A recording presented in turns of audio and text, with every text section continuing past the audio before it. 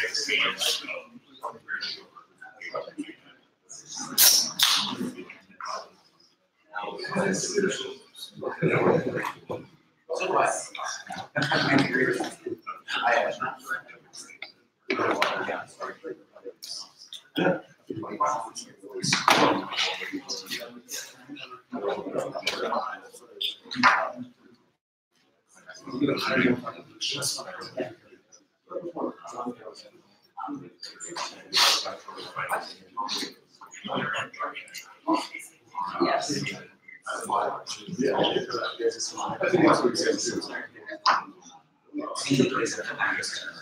I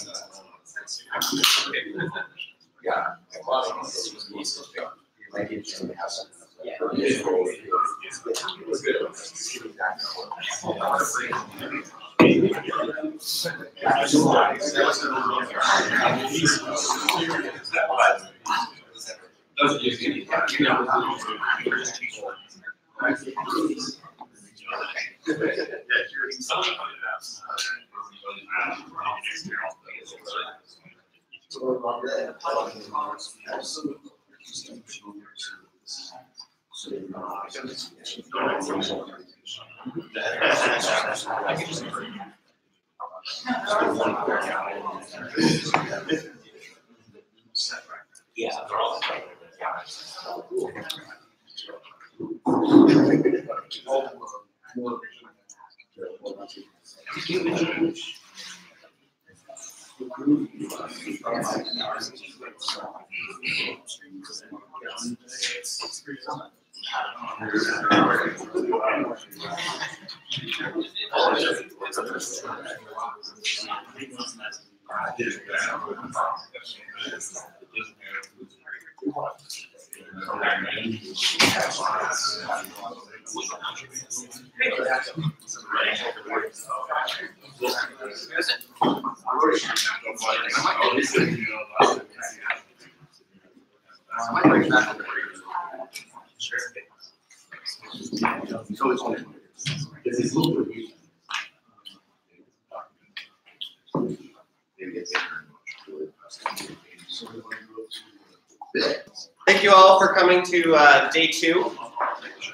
Woo!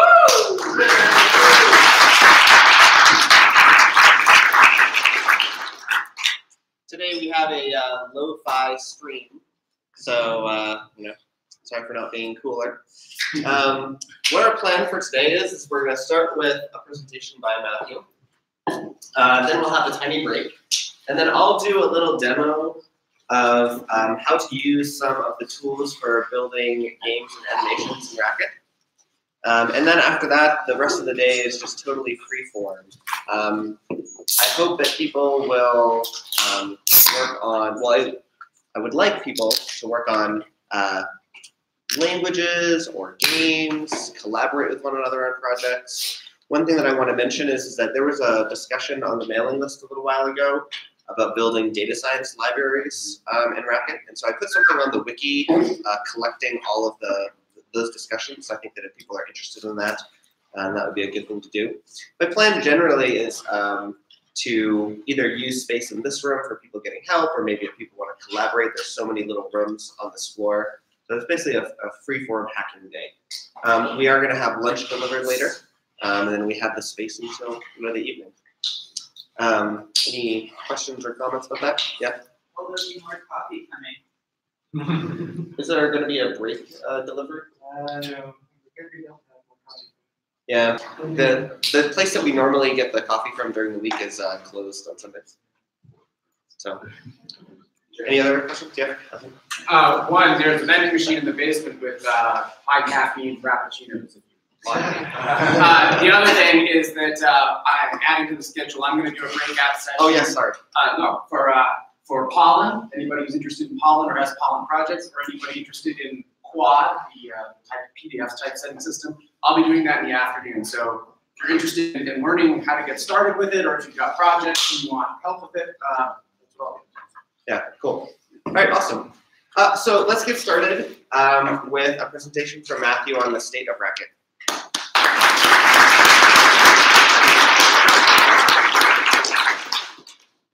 Well, the short answer is that Racket is in very good shape.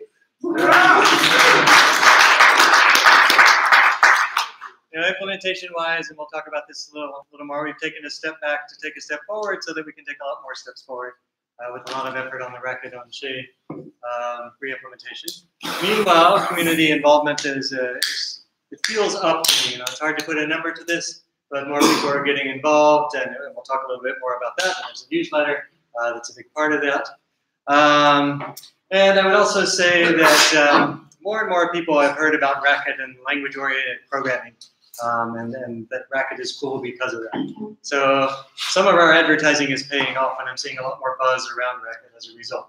Uh, so that's very positive. Uh, maybe I should keep a running count now going forward. I, last year we had just crossed a thousand packages. Now we're up to 1231. So I, that's a, another indicator, some number that you can put on uh, community involvement. Um, you know, not a huge number in absolute terms, but a pretty big number um, for, for a package system that's been around for a few years now. Going back to community involvement, I think this has been a great thing.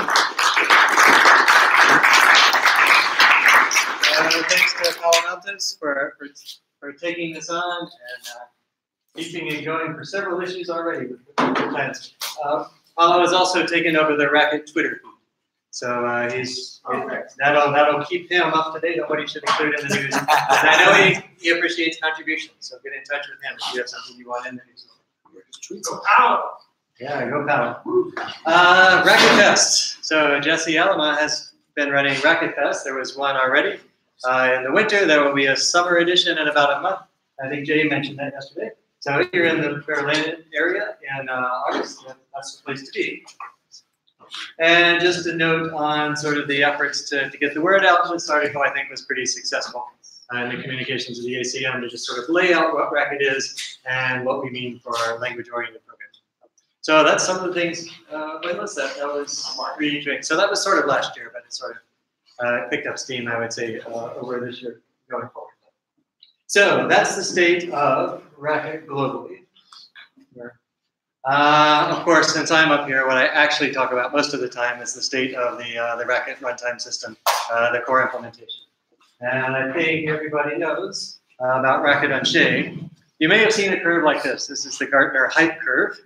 Um, uh, that works really well for explaining the, what happens to a lot of things. So this applies equally well for me for, for Racket on Chez. So I put the date something like this. Uh, technology trigger, Chez Scheme becomes open source. Within six months, we say, yeah, we're going to move to that. Uh, the timing was working out for us. And it's going to solve all of our problems, clearly. Uh, and then after a year of making it work, um, it'll solve some of our problems sometimes. Right? But there was a long ways to go. Fortunately, over the next year or so, it started to uh, actually fall into place. And I thought it would take about two years, and you can always, you know, redefine things so that it took two years. Um, and now at two and a half years, we're well onto that plateau where it's starting, it's something that you can actually run.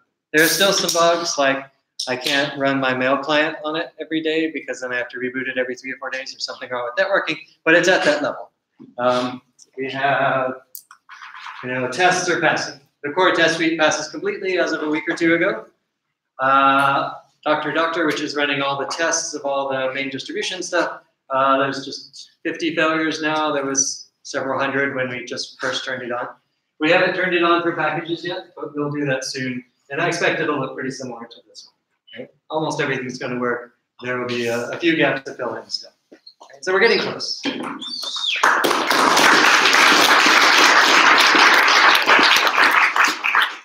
Uh, just a couple of more graphs. This is one that you've seen, although I've stretched the scale out for reasons that you'll see in a moment. Uh, at the top is how long it takes to build the distribution using regular Racket, and at the bottom is building the distribution using Racket CS. And this was worrying me at least, and I think other people. Um, this is one of those cases where we found the one stupid thing that was holding it back and cut off 30 to 45 minutes. So this is where we are now. And this starts to look much more plausible, right? And this is a from scratch build, uh, single processor. So when I build on my machine with multiple processors, it, it takes more like 25 minutes to build a regular racket and 30 to 35 minutes uh, to build racket CS from scratch. So again, we're getting into that plausible uh, productivity. Another thing that we've learned is that this is on the same scale. This is the time taken to just compile. So, you know, one of the switches from traditional Racket to Racket CS is going from a bytecode compiler that didn't really do all that much. It does some high-level optimizations to a compiler to native code that does register allocation and things like that. So we knew compile time was more expensive, and we thought maybe that was responsible for the big difference, but no, this is really the part that's compile time for that build, 16 minutes versus four minutes, factor of two to four is something we expect, but compile time is only a piece of things. And so, um, well, compile times will remain longer. It's not really going to be the big obstacle with it. It like it might be for a while. Question? What do the orange regions represent on this? Uh, the orange is just uh, compiling. Oh, so it's compiling. Thank you. Um, what I've done is to um, you can you can build the distribution in a mode where all the bytecode is really just macro expanded, just down to the core linklet forms. And so this is compiling those core linklet forms into the final ZOs, the, the Racket ZOs or the Racket CSEs. And so it's all compile time, no rendering time. Or anything. Sorry, I, I'm seeing, uh, I'm seeing some white regions and some orange regions. Okay, so the white is while we're in some particular collection. Like this is the first typed, I see. the first typed collection, so it's doing type tracking. Yep. So is this, okay, clarify, so this is the time it takes to compile to, uh, change to scheme, or is this the time it takes to compile, like, Chez Scheme? This is the time it takes to compile all the Racket modules in the main distribution from fully expanded form to either bytecode or machine code. Okay. So compiling roughly a million lines of source Racket code to machine code is 16 minutes, which starts to sound like a respectable compile time. Um, back in January, when we first said, okay, things are starting to run, you should try it out, uh, Alex uh, Harsanyi uh, posted some benchmark results, just taking his test week as a benchmark to see how well Racket CS performs. And so the middle blue bars are there in January, and then the lower bar, bar he was kind enough to, to rerun those for me uh, to see where we are now. So you see we're getting a lot closer. Uh, the red is traditional Rackets. Um, and the increase here, there's actually the same increase in the red bar, just running January versus now, 7.1 versus 7.3. So that's not actually a regression there. It's just things are slower for whatever reason, whatever changed in the world six months later. Uh, the important thing is this, the second bars are getting closer to the red bars. Not all the way there. And this was not a case of the one stupid thing that we just fixed. Uh, this was dozens, or I don't know, lots of little things. You fix this micro benchmark, you fix this micro benchmark, you fix this other uh, thing over here, you redo the I/O system, and eventually things are starting to fall. so uh, little things. I think this will will keep going, you know, inching down very gradually. Um, but I think we're in a place where it's not what I do all day every week. Uh, right? It's it's going to take a while for it to even out, but it'll probably even out in the blue bar. Well, probably this is what we expect, drop a little below where the, the regular bar used to be. Any questions on this? Um, at ICFP this year in August, just after Racket Fest, um, ICFP has decided to co-locate with Racket Fest, I think.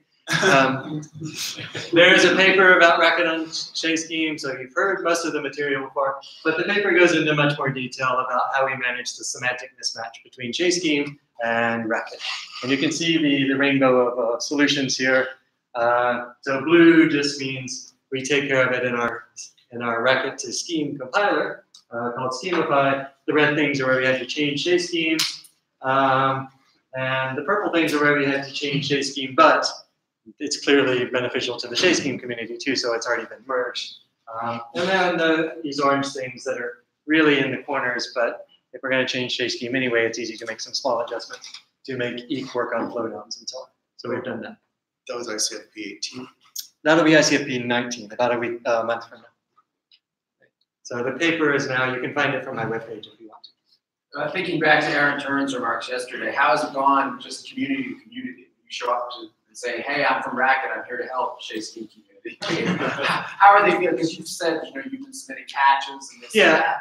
Yeah, well, I just flooded them with patches in a sense. I said, here's all the things we would like to do, and then you can see which ones you're interested in. So in that process, I've got a sense for what kinds of things they are they are interested in, can accommodate. Meanwhile, we're close enough that I can keep syncing with the main uh, Chez Scheme, Chez Scheme branch, so we keep getting their updates. So you're never gonna have to fork it in other words to have your own. Uh, yeah, well, Yeah, it depends on how you define fork. Either we have forked, but we're not forever Okay. uh, necessarily, or something. We don't know. We'll see how it goes. So far, so good. Um, and the worst case scenario still looks like a good scenario. Is there another comment over here? I was gonna ask the same thing Okay. that was a result. Okay, so I'm not going to go through these details. Uh, you've heard some of them, and I'll leave it to the paper for the others. I'll tell you about one more thing that uh, was more of interest to you, perhaps, than the broad IC, broader ICFP community, which is going back to this issue of compilation and bytecode. So the way things work right now in traditional Racket, you have Racket sources, then you run raco setup or raco package install, which does raco setup, and you get ZO files, and I put ZO in red there because that's bytecode that is platform independent but specific to traditional Racket, specific to that particular runtime system. And then when you load that, if you're on my laptop, then uh, in the process of loading and eventually running, the JIT turns that into machine code. So it makes sense to have packages to Racket code as source packages, and we have a notion of built packages where those sources are compiled into zero form so that you can quickly install things. And then even if you don't do that directly, uh, when you get a minimal racket distribution, say a release distribution, it's pointing to built packages so that it can install those packages.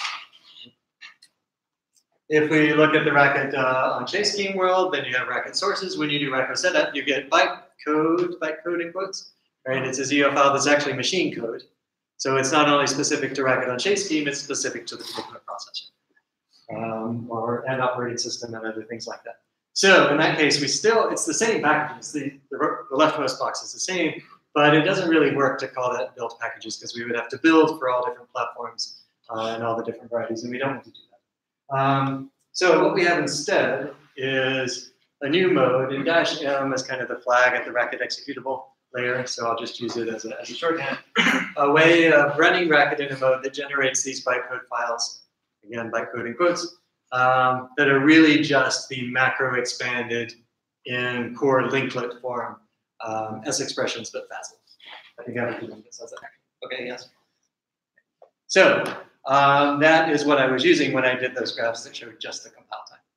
Right? And so you might think that, uh, uh, well, it's sort of, it, I was solving this problem and then discovered that I could do those measurements. So that's, that's how we got there. Right, so once again, uh, it does make sense to have packages as the racket source and build packages that, is, that are these kinds of ZOs. And then you saw that scale of how long it takes to compile. It's still pretty fast to install this notion of build package compared to building from source. So in fact, with 7.4, that's what the build packages are going to be. They're actually just these uh, fully expanded things. And when you install it on a particular installation, on a particular machine, running a particular VM, maybe you get red ZOs, or maybe you get blue ZOs that are machine. Question? So, um, is there a plan to make, I guess, these .zo files since it's just going, it's going to be doing a bit less? It sounds like mostly just a, a, a kind of binary S expression format. Is it uh, going to be kind of a stabilized thing so you could have like somebody could go and implement Racket on D or something just using these? That is a good question. So the question is, um, you know, will we specify the content of this this kind of ZO in a way that we haven't specified in the past? In the past, it was a, a format that changes even every time we added a new primitive uh, to the runtime system. So conceivably, yes. There's no particular plan right now, uh, but I think that is a potential direction. Uh, also, it does help with uh, with um, deterministic compilation. Right? So it's much easier to make these things deterministic than trying to make sure Chez Scheme is deterministic or even certain aspects of, of the red format. Are these things uh, really called have a name? Are they stored in a weird directory? No, so they really are still the file name ZO. And so raco, raco's setup looks at the ZO and the associated depth and says, oh, I'm supposed to be compiling for this machine. Currently, it's in platform independent mode. I'll just do the fast compilation. And then it overwrites the ZO. All right. So hold on. So that means that like if I want to have both versions installed at the same time, Ah, then Okay. like the then the, the red mode will replace the ZO, and the blue mode won't have that, so I'll have to start from scratch. That is correct. So you can you can set up Racket and Racket CS so they're sitting on top of each other, and Racket CS writes to a subdirectory of compiled.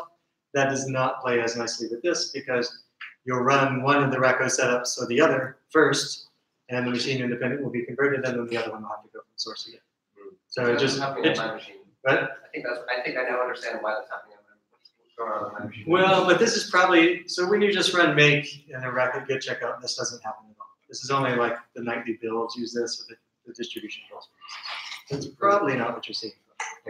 Maybe I just misunderstood. Uh, You, you suggested using a subdirectory of compiled. Isn't that a solution where you have maybe a subdirectory of compiled for Chez and for, no? Uh, true. Yeah. I've advocated this to Matthew several times in the past and it hasn't happened. So, okay, fine. Yeah. It's not currently It gets surprisingly complicated. The thing is, search paths, search paths are terrible. and Parameterizing search paths creates all sorts of issues with tools. Yeah. I will say slightly more about that later, only to say it's still hard.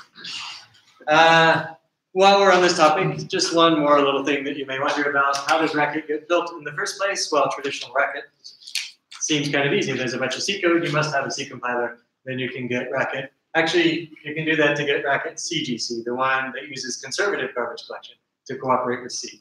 And then what happens if you type Racco from, from scratch is that it transforms the C code to some similar looking C code, but C code that cooperates with the garbage collector. So a C to C compiler, that compiler is called xform. Um, yeah, it's a big hack. Um, but to run xform, xform is obviously written in Racket. So the process is you build Racket CGC, you run xform to transform the C files, then you can build regular Racket, sometimes known as Racket 3M. Meanwhile, over in Racket on Chez Scheme world, uh, there's some C code, but I'll gloss over that. There's a bunch of Racket code right, that gets converted by the Schemify Racket to Scheme compiler into Chez Scheme.ss files, which gets converted, um, gets compiled using Chez Scheme's compile function to, to build Racket CS. So how does Schemify run? Well, that's obvious. Uh, we build Racket, uh, which we can do in a couple of steps to get to Schemify. How does compiler run? Oh, well, you need Chez Scheme to do that. Okay, so you run Chez Scheme to run the compiler to generate Racket CS. Where did Chez Scheme come from? Uh, well, it's written in Chez Scheme. So there's are some Chez Scheme source files. Again, there's some C, but that's easy, right? So we gloss over it. Uh, those need to be compiled to, to generate Chez Scheme. Ah, okay, how do you compile the Chez Scheme source to generate Chez Scheme? In the Chez Scheme world, the answer is, well, obviously you have Chez Scheme. so the, the compiled files get checked into the, the repo. Uh, we don't do that. We've stripped out those compiled boot files in our source distributions, and instead we use Racket with uh, Shim to load the Chez Scheme compiler well enough. It's a little bit tricky. Well enough so that it can compile itself, and then we're off to the races. Okay, so you can see there's no cycles in this graph. Um, and uh, the root is dot .c. So we need a C compiler, and that's about it. Is, is Chez actually at all interested? I mean, This has the nice advantage that you can compile Chez Scheme now just from source without an existing Yeah. hardware. Are they interested? As when I put my Chez Scheme hacker hat on and modify Chez Scheme, this is convenient for me because it's not always easy to apply the old Chez Scheme to get the new Chez Scheme. It's somewhat easier to do this. Yeah. Uh, this this thing does have to know about some implementation details to load things in the right order, to know about the right structure sheet. But it's much easier to, to modify that and that than to get the bootstrapping. So they might be interested, but I, I don't know. In the post C racket world, how hard is it going to be to bring this to a new platform? Uh, to a new platform. Well, so right, so here, if you're going to a completely new platform, we need a Chez Scheme backend for that platform. And I know there are people interested in ARM64, for example, who will be looking at that. Um, I'm not sure I can say anything more than that because right now we'll still rely on this same. In the future, I mean, part of the, the motivation for Rack Chez was to be able to get rid of this stuff. Right, so now we would be removing uh, that step. But I think there's a simpler thing here that is maybe C based, but maybe C generated from Racket code, where you check in the generated C files, So Um, and that the C file is readable and modifiable, so that you could modify it if you needed to change, uh, if you needed to escape a bootstrapping loop. more, of so- a, more of a Squeak style bootstrap. Uh, somewhat, somewhat like that. Yeah, I really want to avoid the image. Even Chez Scheme still has a little bit of the image thing.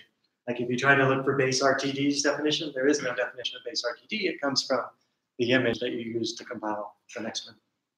Um, so yes and no. I just wanted to say thank you for doing this because I was really afraid last year when you described the, the thing because we've been working hard in the Guix community to be able to provide full bootstrapping, even Uh-huh. bootstrapping C.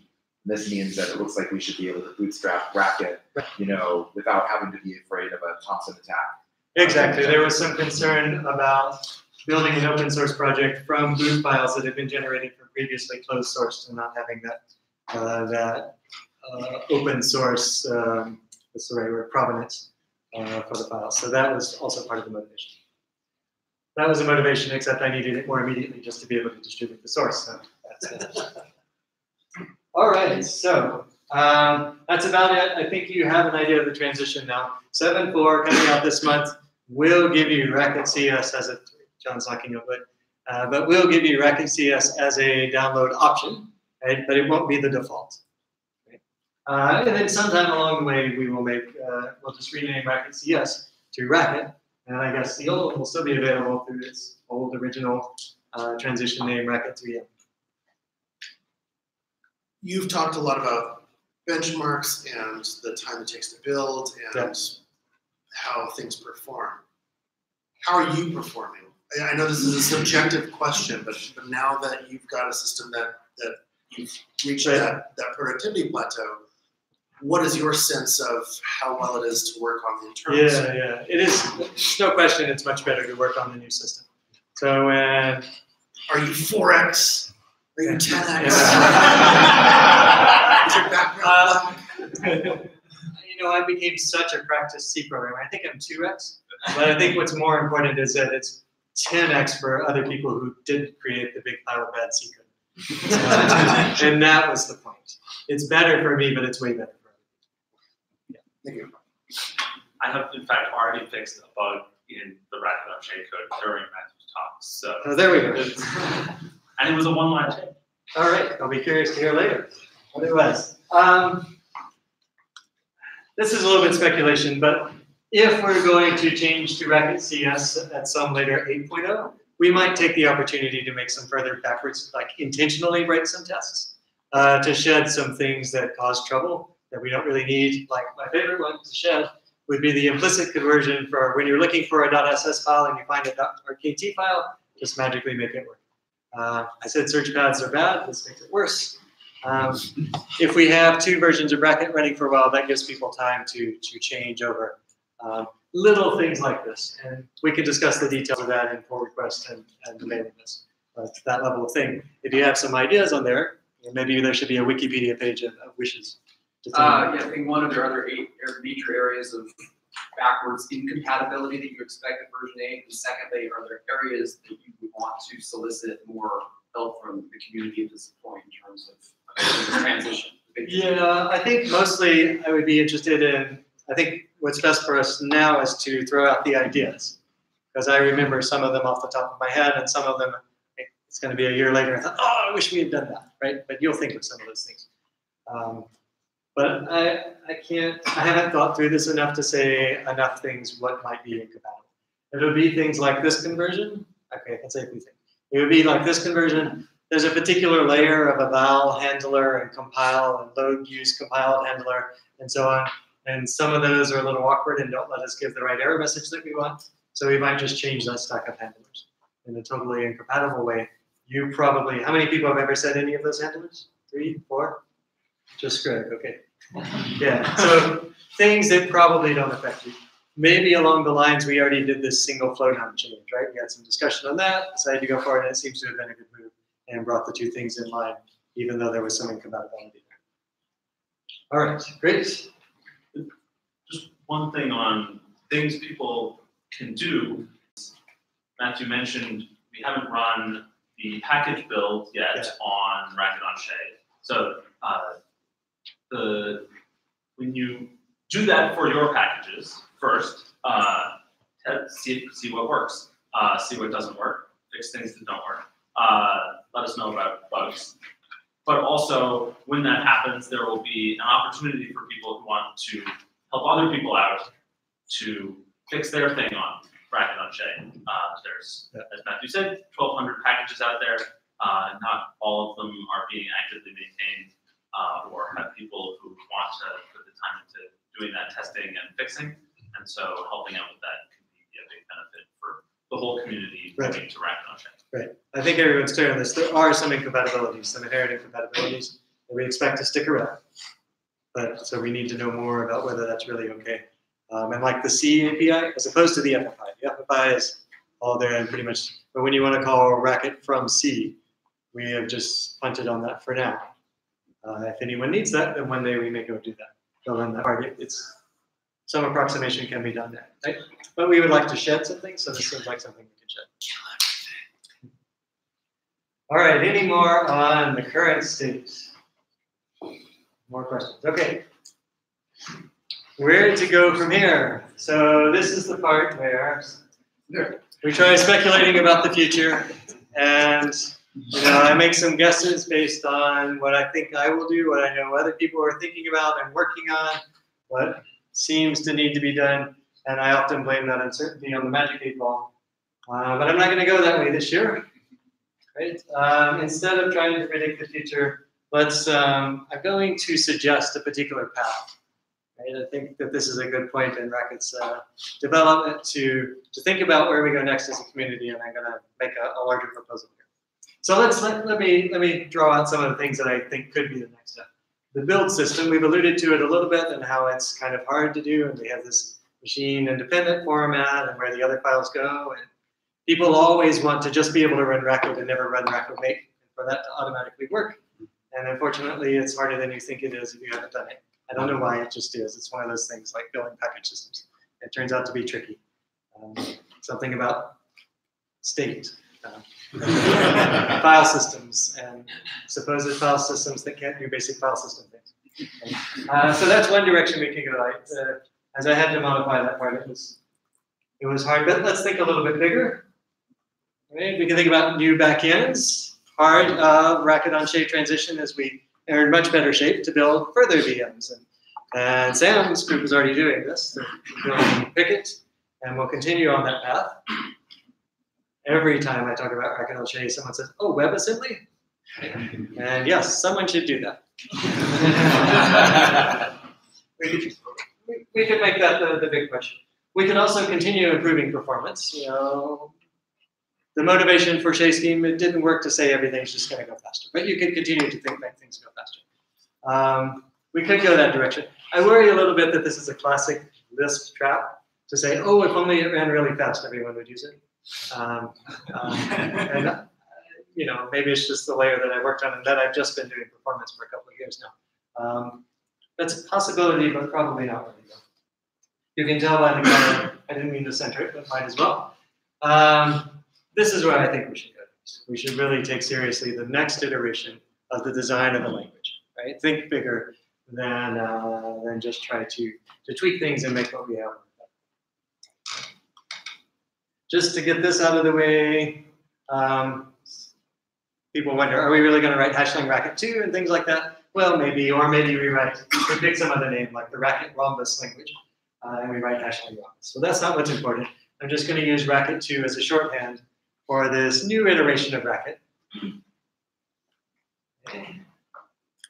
And it's not a new idea. We've talked about Racket 2 for a while. There's a there's a wiki page on GitHub where people have added ideas, things that they would like to see in Racket. Uh, just uh, it's a wish list. It's an open-ended list, but I think we all agree there's a couple of broad categories in that list. Um, consistency in terms of better function names. Um, we have match, and we have syntax case, and we have syntax parse, and we have define simple macro, and we have define some uh, syntax rule and syntax rules and so on. We have all these different kinds of forms for pattern matching and generation. We could unify those, things like that. Also, uh, another dimension is genericity, generality, um, more consistently using sequences and streams and these abstract data structures instead of the concrete implementations of lists and hash tables and so on. So we can do a lot more of that just in terms of the, the functions that are provided and, and the culture of using those functions. Uh, these kinds of things would be taking Racket as we have now, cleaning it up and making it even nicer. But I'm going to say we should think bigger than this. So this is where we get to the point where I pitch a new suggestion okay, and I'm trying to explain why I'm pitching this new suggestion. Okay? A somewhat radical suggestion. What if we change the surface syntax? All right, the, the moans compared with laughing is about what I expected here. XML racket? Let's get this out of the way. I like parentheses. I would be perfectly happy to stick with the kind of surface syntax that we have now, I personally. Okay, done. But, but in the social context and the programming context that we live in, I gotta tell you, I've been doing this a while and the parentheses are an obstacle. Yeah. We've seen it over and over again and trying to say, here's how to design programs. Here's beginning student language. No, it's not scheme. No, it's not racket. It's this language, beginning student language. Oh, it has parentheses because we know it has good properties for teaching, et cetera, et cetera. And yet, you know, they stop listening as soon as they see the parentheses. Right? And this is a real problem. And I've seen students in my class genuinely struggle with just the syntax, not the concepts. And part of the problem is people have trained them from uh, algebra, you know, elementary school, to put the plus in the middle. Um, and that parentheses are for grouping things and so on, right? So if we want to bring the goodness of Racket to a larger part of the world, we should take this, this idea seriously. And now is the time that we can, as a community, think about what that might mean and see how we might go in that direction. We can try it out. We're not deciding today. I'm not standing here and saying this is the direction we're going to go. I want to get this idea out there, start a conversation about what we might do, and start a conversation about how we might organize ourselves. Right? The Racket idea that the idea of language-oriented programming, the kinds of technologies that we have, at some layer, syntax objects and parentheses, and the way we write them down, is a valuable thing. But the idea is bigger than that. Right? The application is bigger than that. And uh, we should explore this direction. So if you start saying we're going to change the syntax, then well, Pandora's box. You know, there, there's all sorts of possibilities. Uh, we will need to decide what are what kind of what are some of the principles or, or the, the motivating vision for this, right? And for me, I boiled it down to three things, right? Three things that I think the syntax should do to achieve this goal of getting more people a smoother path into it. Okay, and I, in fixed syntax, right? The plus goes in the middle. So when you say getting more people into Racket, are you Yeah. talking about at the BSL level or No, no, the no. whole damn thing? All, all levels. BSL, yes, but practicing programmers, etc. Yep. Excuse my ignorance on how hard this may or may not be, but would it be possible to have both surface syntax? Okay, that's a good question and, a, and a, one that people frequently ask. Uh, the question is, do I mean that there is this other syntax to complement the, the very nice one that we already have? That's not actually what I mean. I think it's important that we as a community have a canonical notation And that if we really want to get people into canonical racket, you know, or the racket way of doing things, then we would have to find a syntax that we, we like as well. Right, so it's a great question, but I do in fact mean changing all the documentation in it, right, and not trying to do some sort of, um, I've forgotten the right word, but where there's an AST, but you can see it presented in different ways. Well, ha- hashlang S expression. Yeah, it's obviously, obviously we can't keep you from writing. Just like we can't keep you from not writing S expressions now, we just want to sort of take advantage of that technology and build even better technology. We've been waiting a while else. If you have infix operators like minus, what happens to all the dashes in our function name? Yep, that is, that is indeed a question to ask, but not today. That's a question for, that's a question for the community and some sort of working group at some point to figure out. Yes. Um, can you on the live feed hear the questions or do I need to repeat? Well, Somebody on the live stream will I'm, tell I'm us. sure that the answer is you need to repeat them. Okay. Uh, feedback on it. Uh, so the, the question was about uh, what to do with hyphens and minuses as an operator. Hyphens and names and minuses as an operator. Yes, someone will have to figure that. So I'm aware that parenthetical syntax is a barrier for, for and, and it is, you know, I've tried to get my employer to use it previously and stuff like that. Um, and usually I think the, the, it's a barrier to especially people who have been exposed to other things. It's less of a barrier for people who have come out of a clean slate, right? But the, uh, um, but the, I think, I mean, part of the appeal of Racket to me, and I also think about what this workshop delivered this week, uh, for those of us who were here for Racket School. Um, one of the reasons that lists have historically been appealing to me is that finally I could see how the program worked, right? And I especially think, I don't think I would have been able to do this workshop this week without that kind of clarity of how the structure worked. And so I, you've already heard a bit of this from me, but uh, I, I really like, if we can, I really would prefer a structure if we go down this route, which I think, you know, I understand it and it makes sense, but I think that we should explore the type of stuff that's been done in Wisp and, and Sweet Expressions and look to see if they're satisfactory or if we can modify them.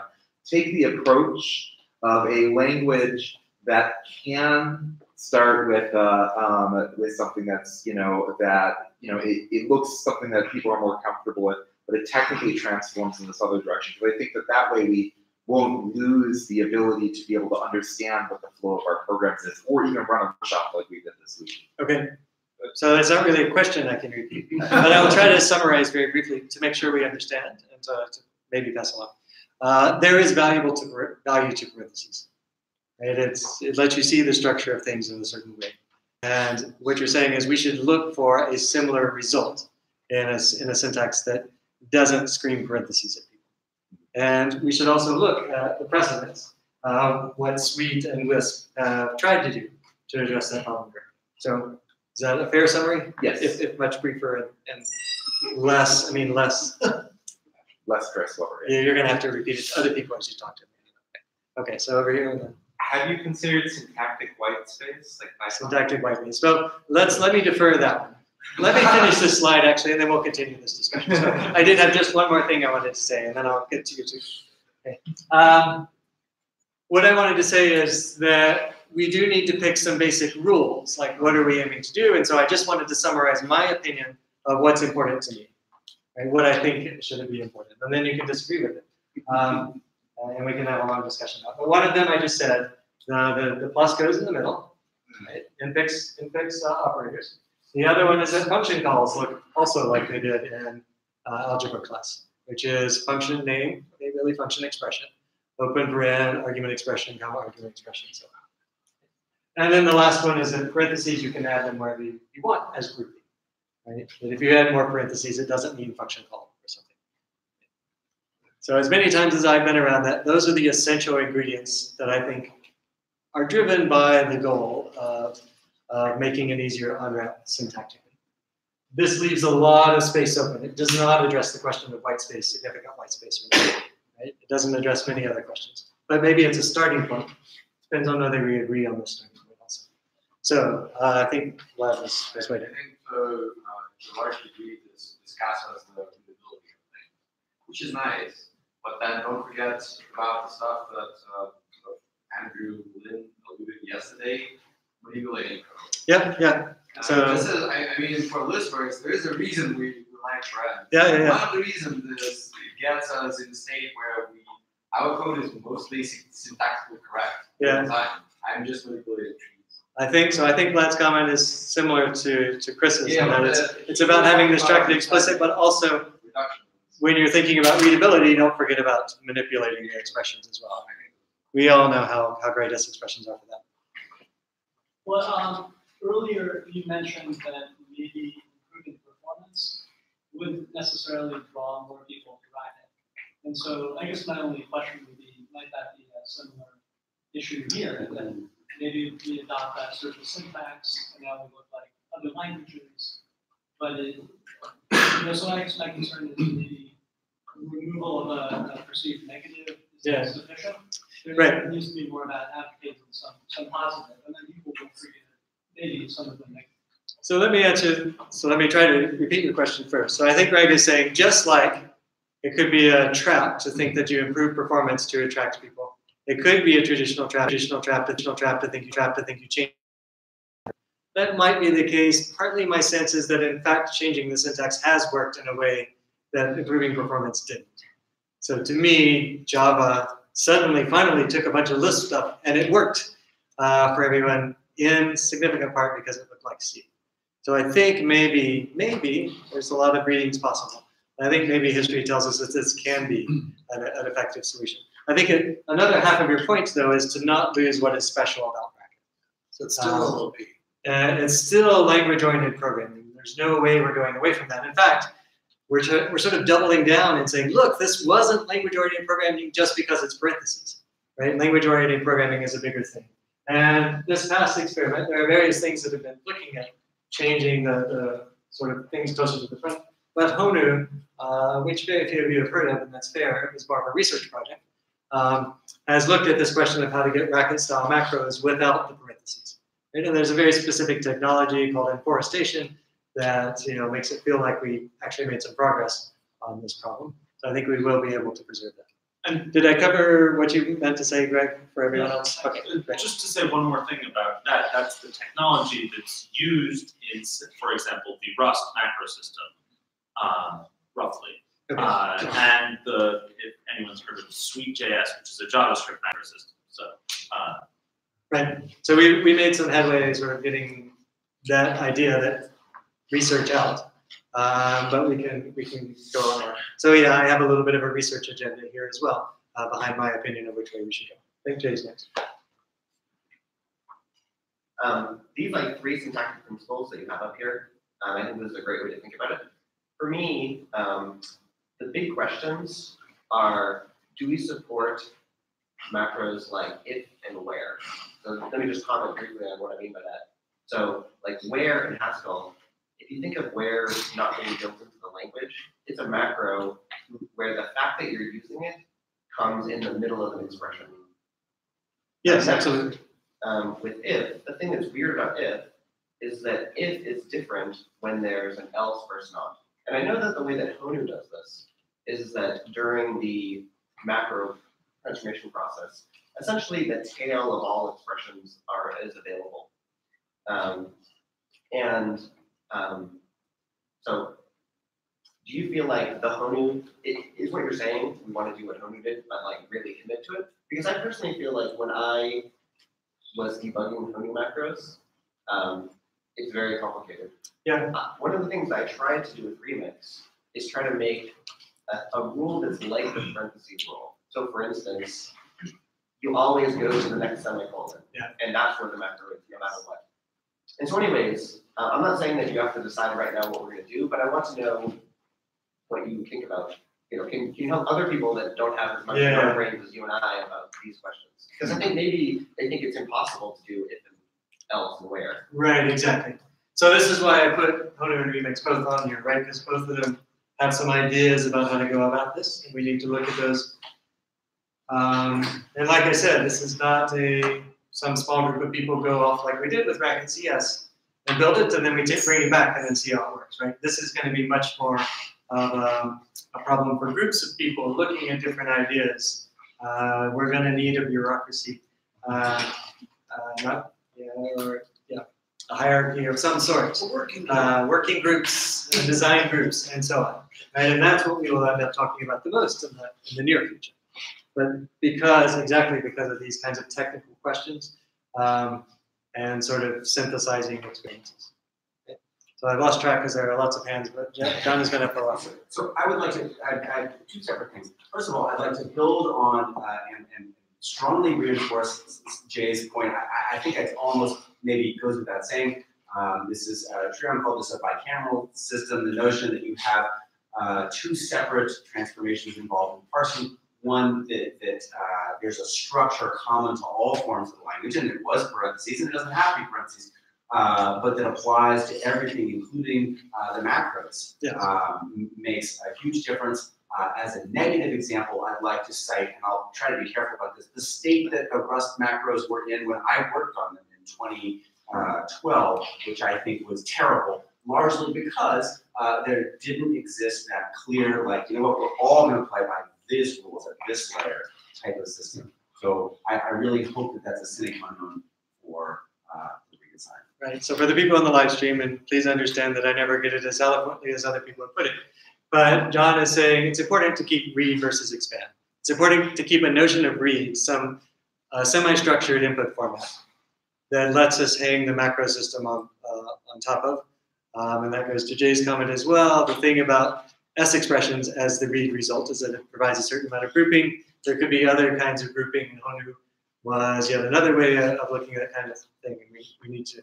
Does, does that capture what you were saying? It does, it does. And then also, the other thing I wanted to say really briefly about uh, Greg's comment about the value of changing syntax uh, is that I've become convinced recently by various people who say that programming languages people's attempt to detach syntax from semantics largely fails, at least in the minds of undergraduate students, and that they often leave remembering, like, oh yeah, the one with the parentheses was like this, and the other one was like this. But maybe I can put this in a positive sense. I think that when, if we do some kind of syntactic redesign, I, we probably, I think, should think about branding and to some degree uh, try to create a syntax which maybe not in a stupid or ugly way actually creates an identity for the language where people say things like, oh yeah, I remember that language. It kind of looked like this. So that rather than trying to just be like other languages, uh, Racket 2 has a distinctive syntax. Okay. Yeah, and, and that's the kind of thing that a design group takes up. So just John's point was maybe you don't pick Python syntax because everybody who likes Python. Pick something that is distinct and that people will say, oh, that's Racket. Replace parens with square brackets. Racket, racket square. Let's, so let's do this only for about five more minutes. I think it's become clear. Like, let's not cut it off, but I think you see how this is going to be a long discussion, right? And how we will organ- need to organize ourselves to have discussions and so on. So um, we'll do these two starting here and then going. We'll start here with you, James. with me. All right. If Racket was popular enough, would we be considering this?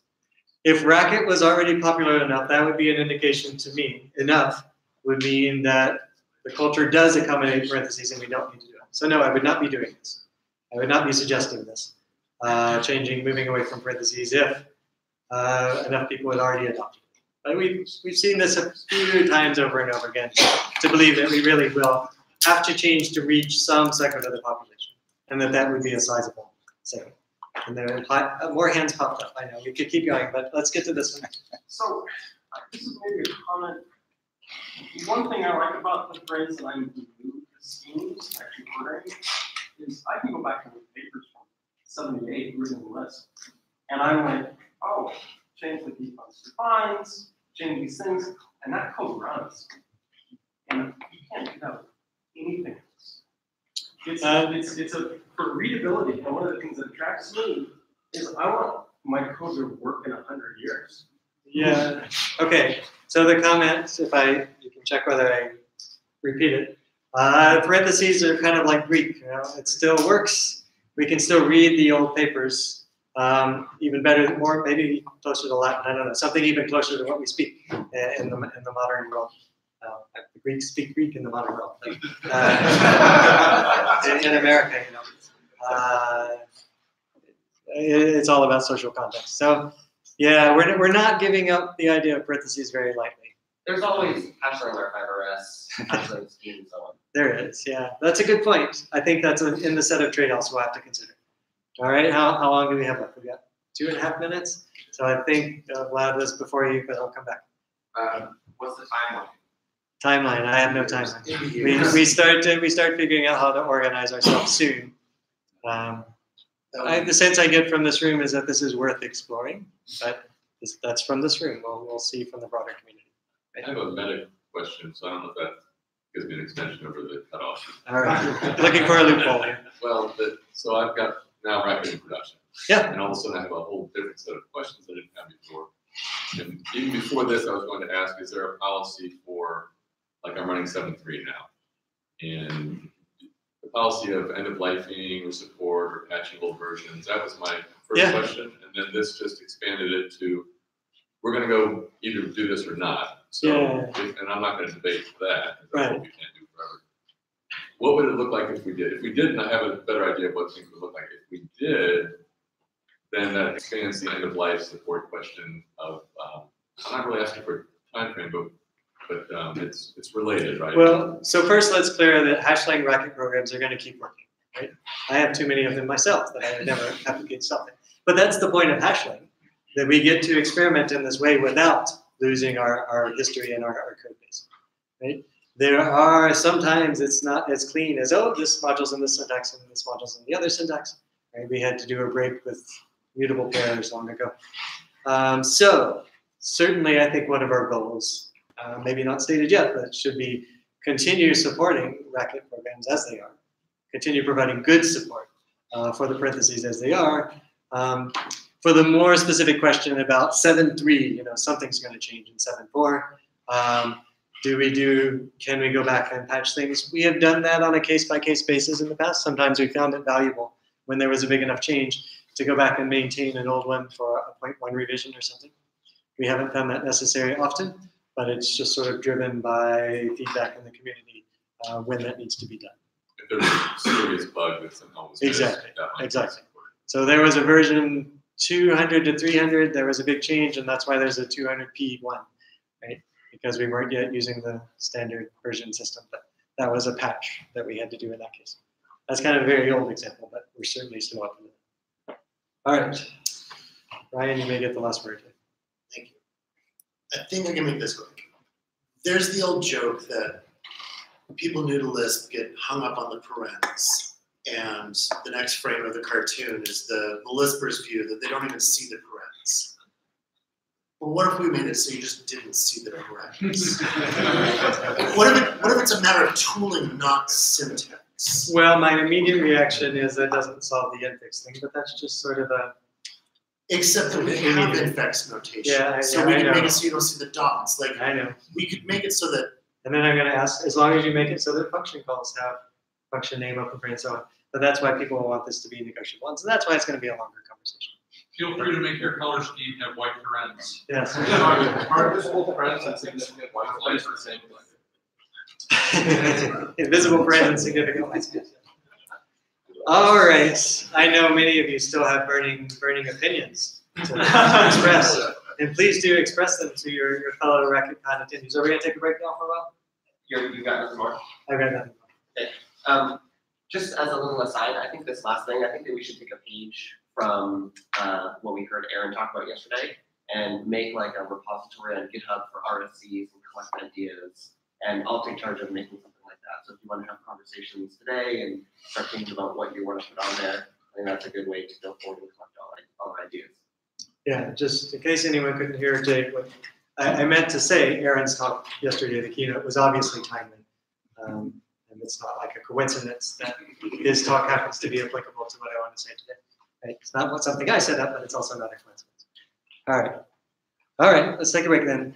Yep, so we'll take a break for about 25 minutes.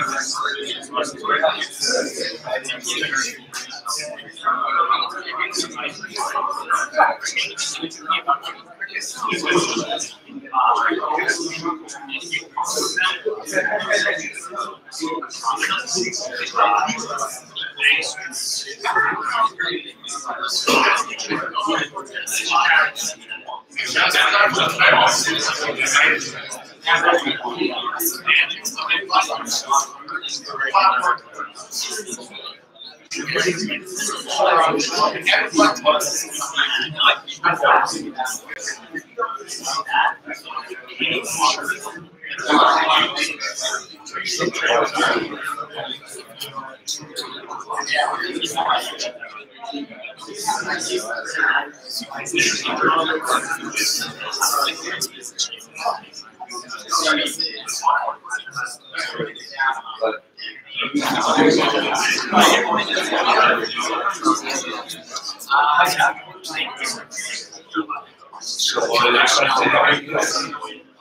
that.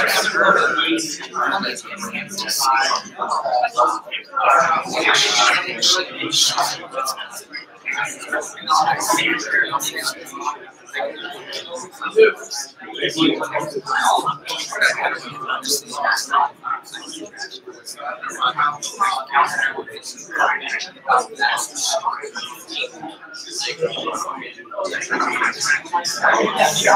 has to be the job.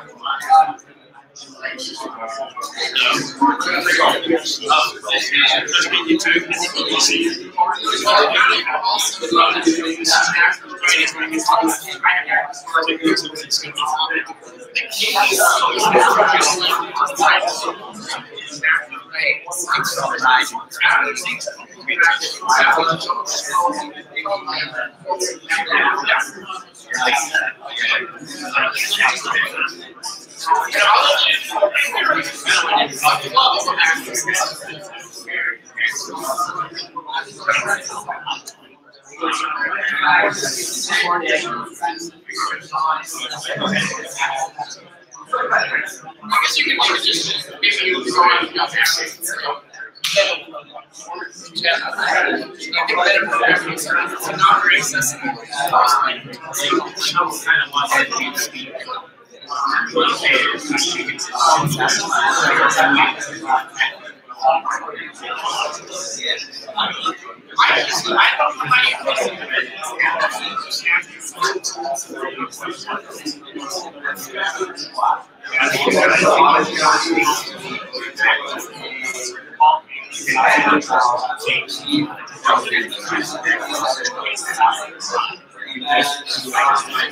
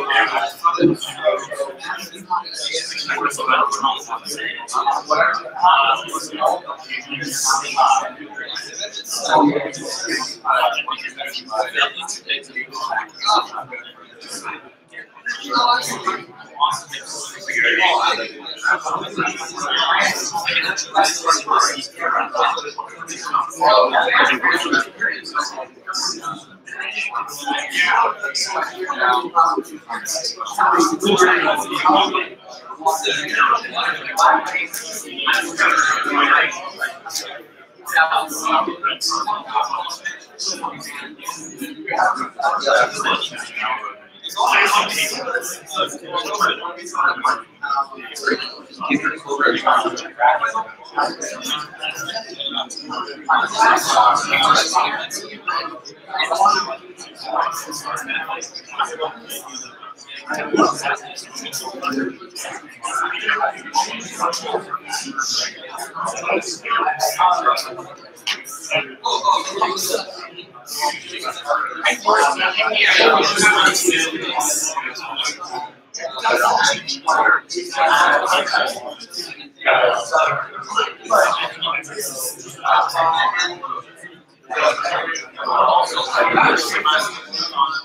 Thank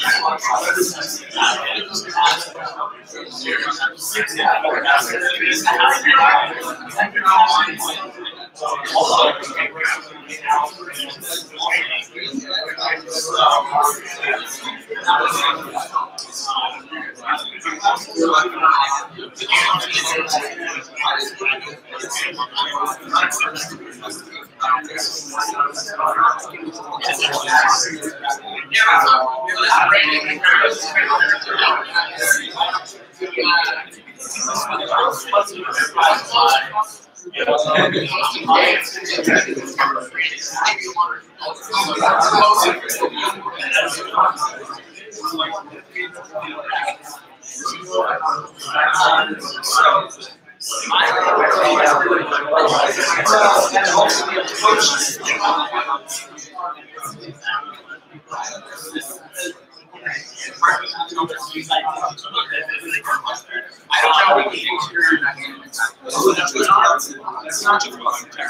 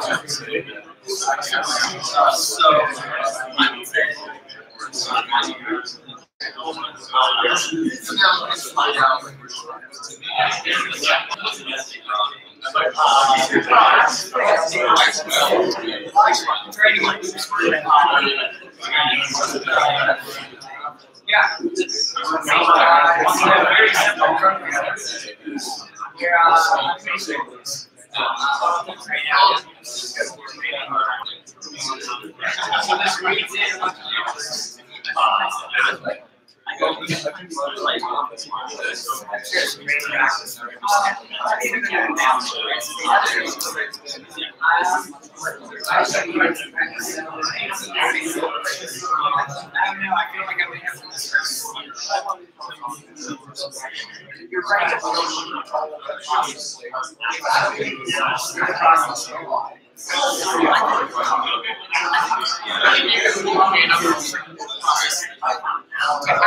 don't think Russia really has a lot of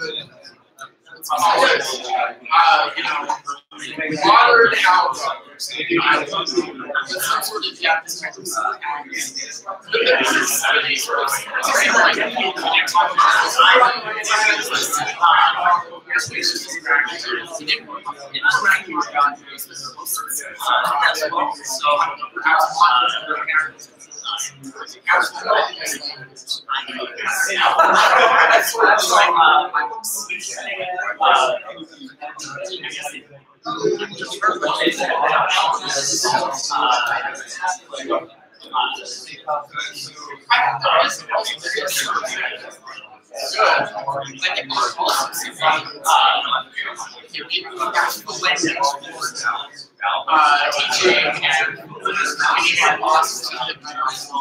But then when you actually want to go back to advanced uh,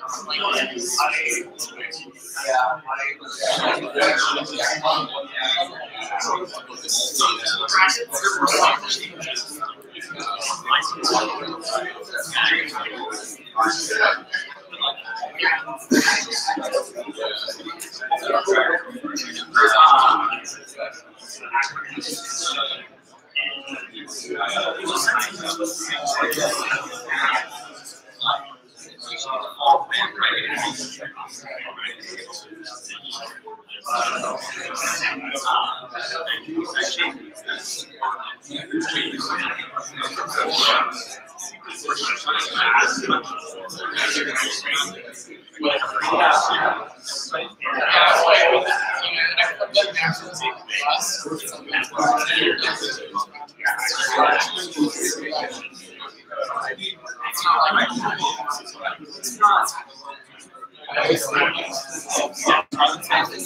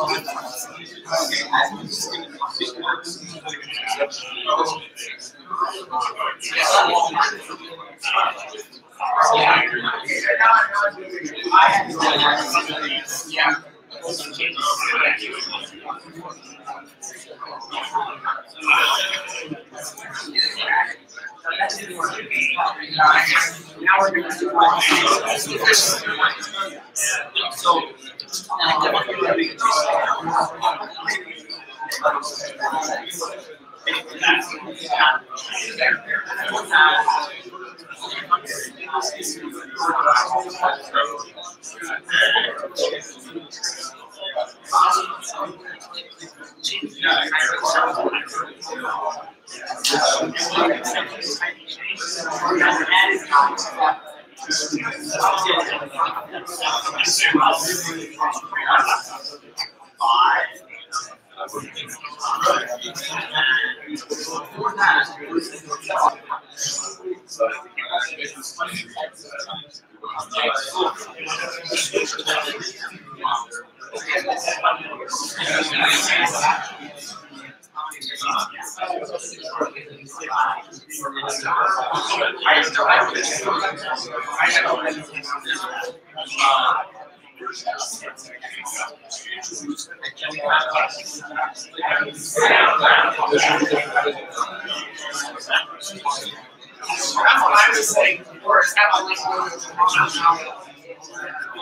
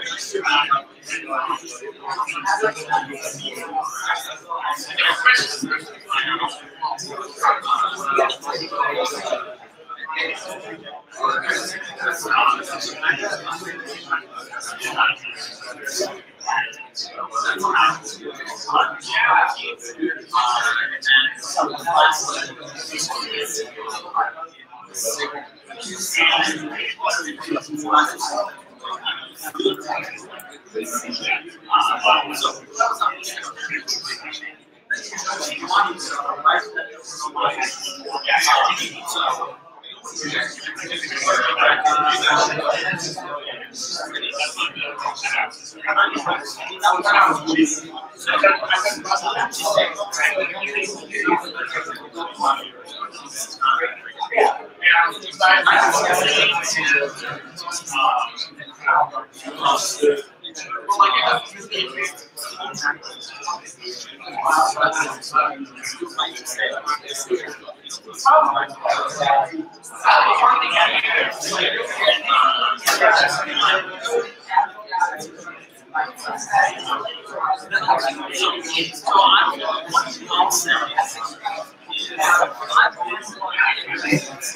I'm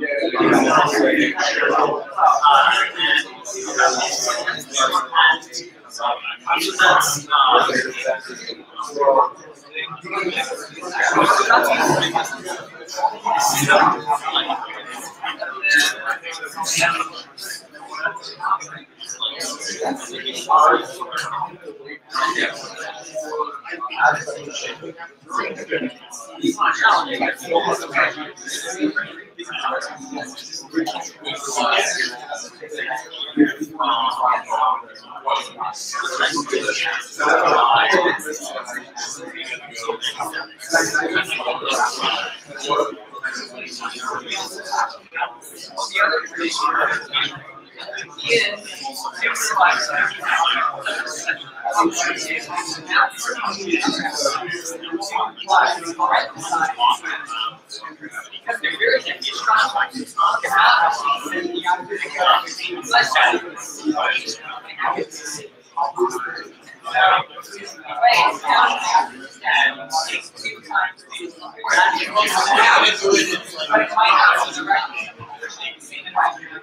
I'm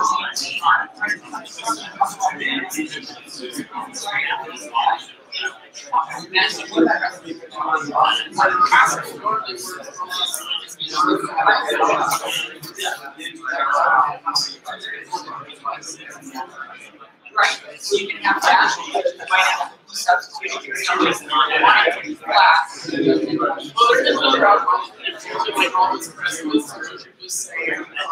You have one, so you have No, you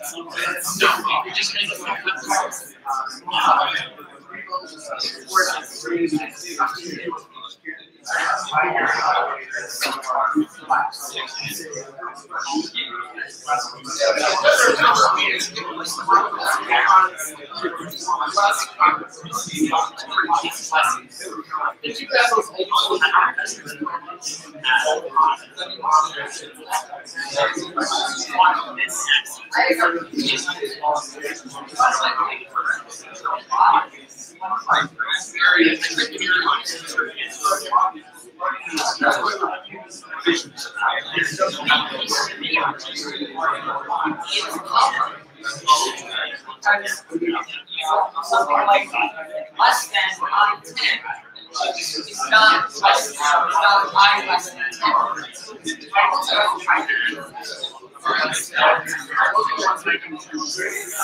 number of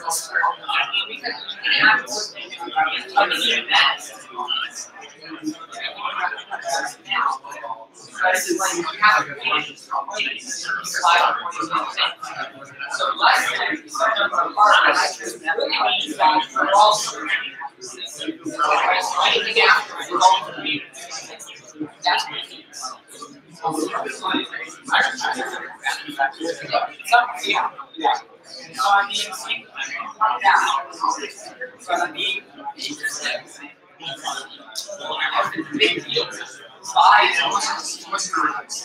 Because I add seven, plus.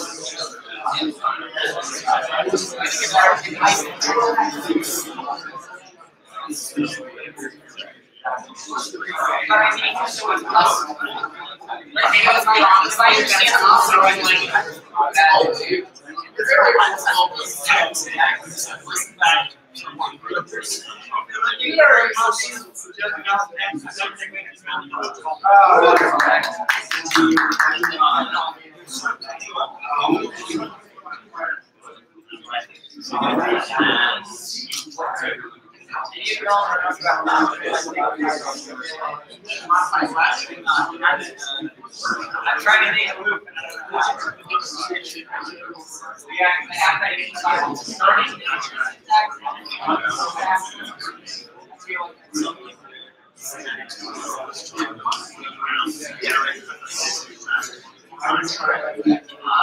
So basically, I have a character that starts with, I to wait. I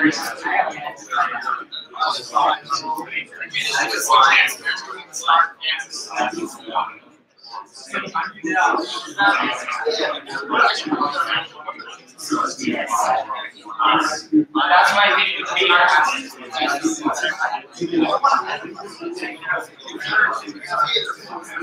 to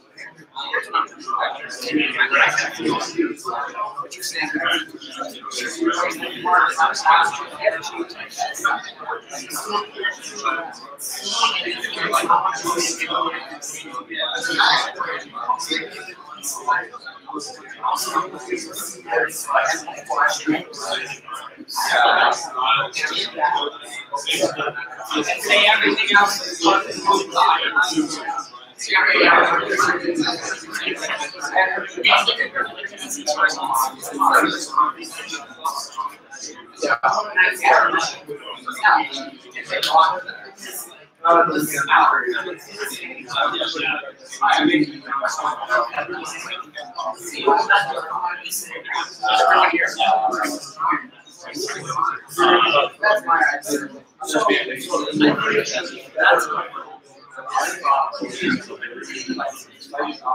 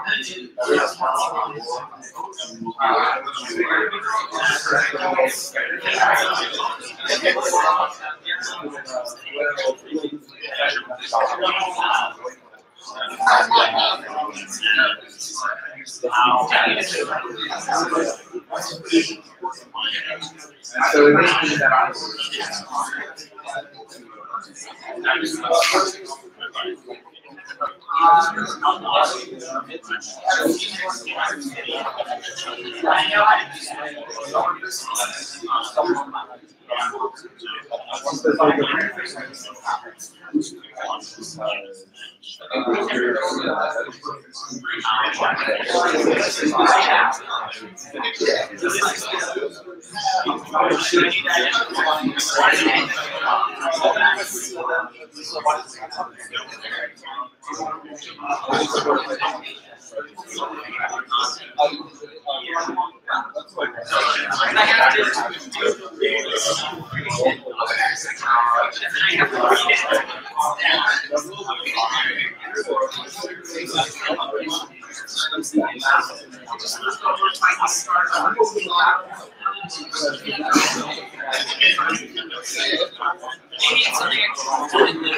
me that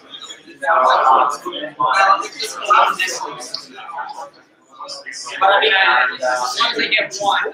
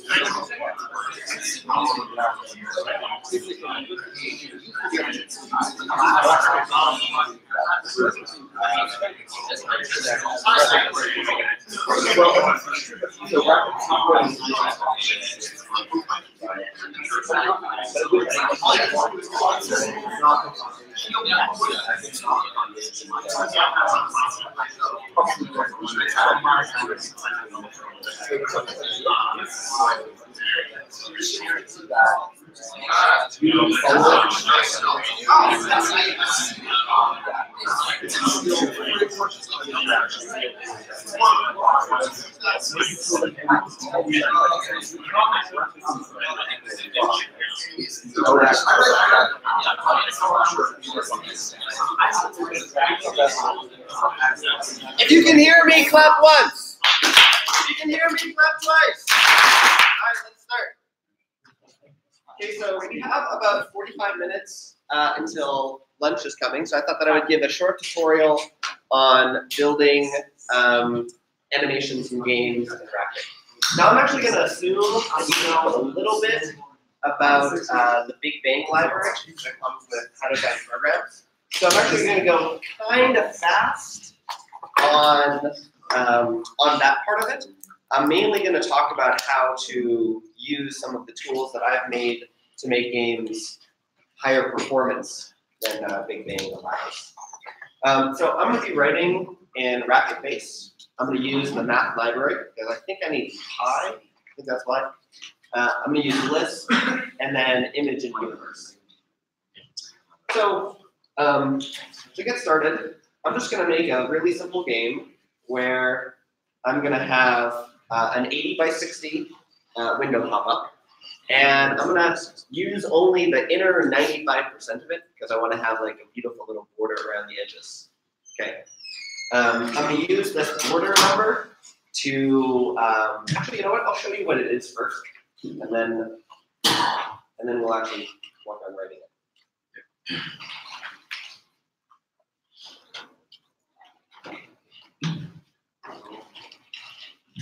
So it's a little version of Space Invaders. Yeah. Okay. Um, And uh, you're, you're only allowed to shoot three bullets at a time, kind of like in Mega Man. Um, and notice that it's running at uh, like 15 frames per second. Okay, sometimes it gets up to like 20. Okay, so that's where we're going to start. We're going to start in that version. And then we're going to end up in this version. We gotta go really fast here. Ah. I died before I could move the screen. um, okay, so let me try to do it faster.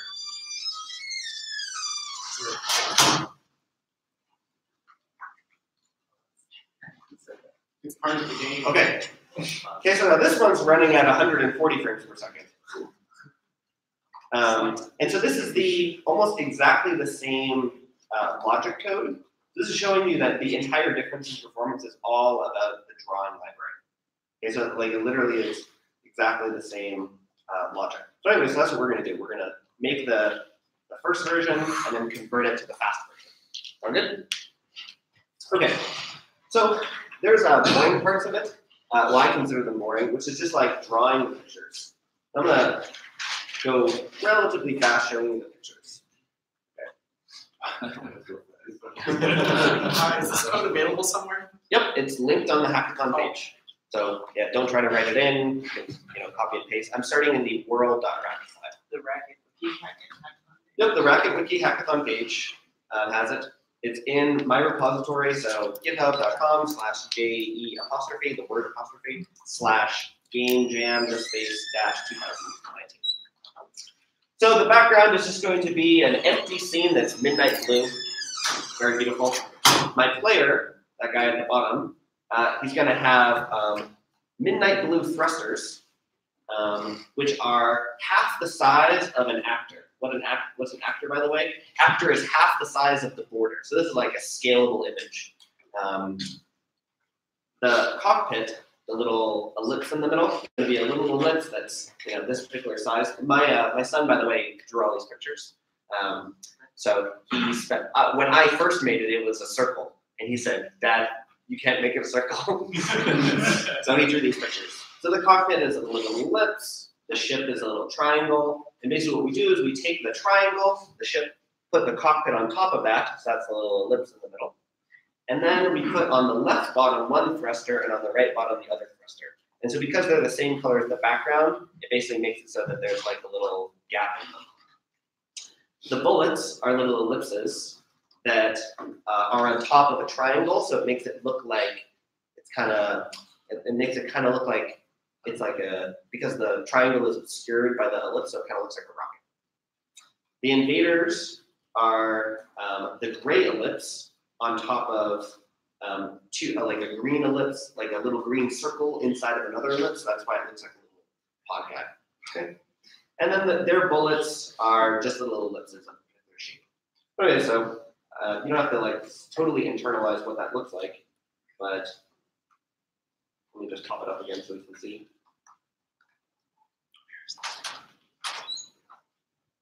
Okay.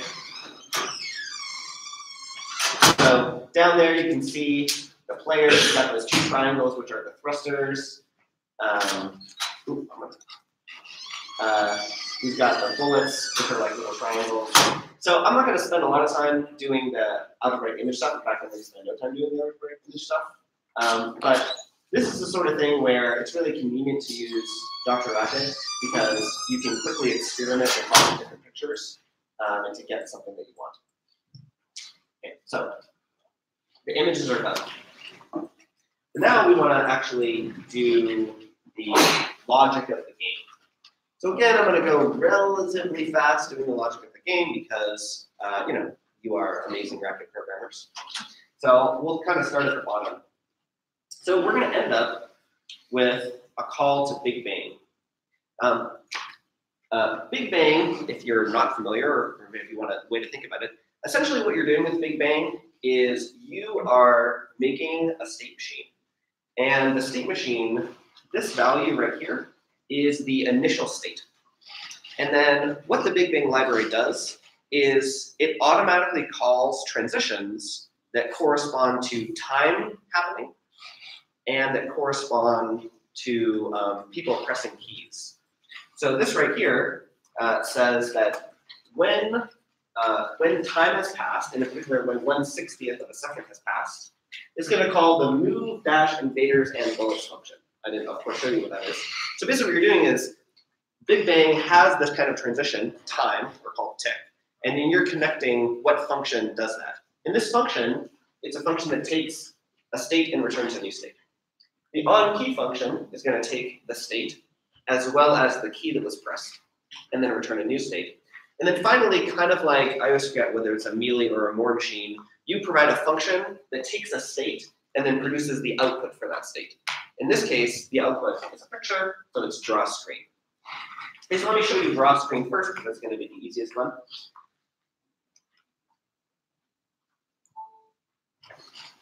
The draw screen is going to look like this. Actually, you know what? I probably should probably show you the state first, so we can make sense of all those things.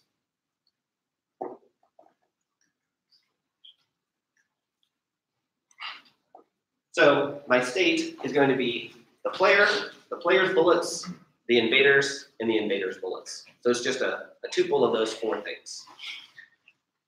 When we actually want to draw, what we're going to do is we're going to take the background, and then we're going to draw the player on top of that. So we're going to call the draw one function. Then we're going to draw all the player's bullets. Then we're going to draw all the invaders.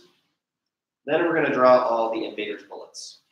Um, because we're drawing on top of the things that were there before, it's an important um, UI design to make sure that the things that can kill you are at the very top so that they're never obscured. So that's why we draw it in this order. Um, and then what we're going to do is we have this little hack where we're going to keep track of what time it was the last time we ran, what time it was now, and then figure out how many frames per second.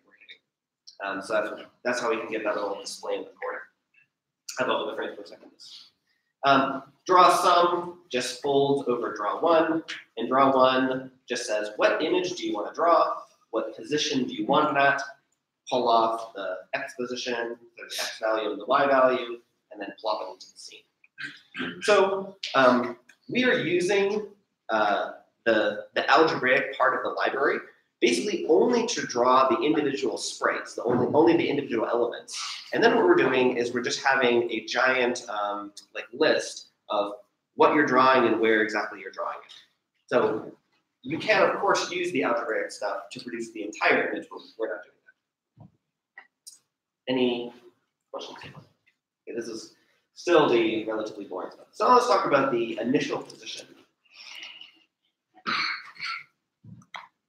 So my initial position is going to work in the following way. We're going to say that the initial state, the player is going to be in a position that's in the middle of the screen and then basically just below the bottom border. So remember the border is a percentage. We're basically saying they're 95% down. There's initially no player bullets and initially no invader bullets. And the invaders, well, where are they? Well, what we're going to do is we're going to have a matrix of them. So we're going to have a particular number of rows, a particular number of columns, and then we're going to convert each column into an x value and each row into a y value. Um, there's nothing especially clever about these, but I'll just comment on them briefly. So we're going to have five rows and nine columns. That's the same number Actually, there's a little bit more than the original Space Invaders game. That's why I picked that number. Um, and the way that we convert columns into x values and rows into y's is basically each column counts as one unit of the border. So remember, the border is 5% of the screen. So we're basically making it so that every row takes up 5% of the screen. And then we skip the first two rows. So it basically makes it so that the, the invaders are kind of centered a little and we have a function to go back.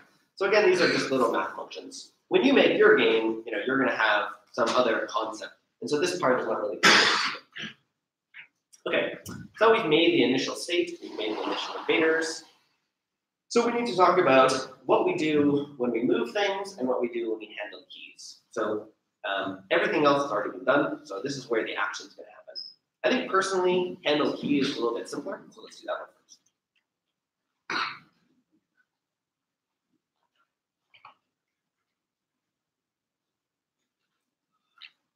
So, to handle a key, our state function, b, so, sorry, our state value is going to be called b, and then we're going to get a key event. And a key event is basically a string um, for whatever key on your keyboard was pressed. So if the key is left, then we're going to call the move player function with minus 3 delta. And if it's the right function, we're going to do plus 3 delta. And if it's the space bar, then what we're going to do is we're going to look at how many bullets there are.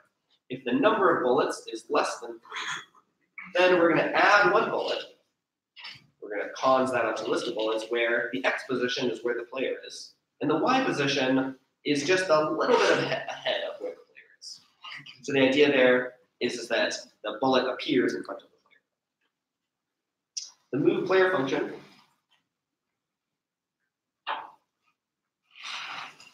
the move player function just takes the dx and does pos and plus on the player with the dx value. So I'm using this pos and plus function, which takes a posn and then two um, uh, differences and then adds things. The only thing that might be uh, unknown to you about this is the struct copy form. So struct copy is something that Racket has where you say, um, I want to take a structure that is of type st and the value is b, and I want everything to stay the same except for one field, or you can do any number of fields, but in this case I do one field. And so you list the field name and then the new value for that field. So this is a very convenient way of updating the structure without modifying the pieces that we don't want to change, and without having to actually like pull off all the individual values and like remember what they were and stuff, which would be really annoying, especially if we make the struct bigger. Yeah. Can, can, uh, you say anything about the performance characteristics of struct copy versus mutating an existing struct? It's slower. So struct, so struct copy, like this code right here, is literally the same as st, um, this code, st p bullets, b, st i bullets, and st invaders b. So it literally just expands into that.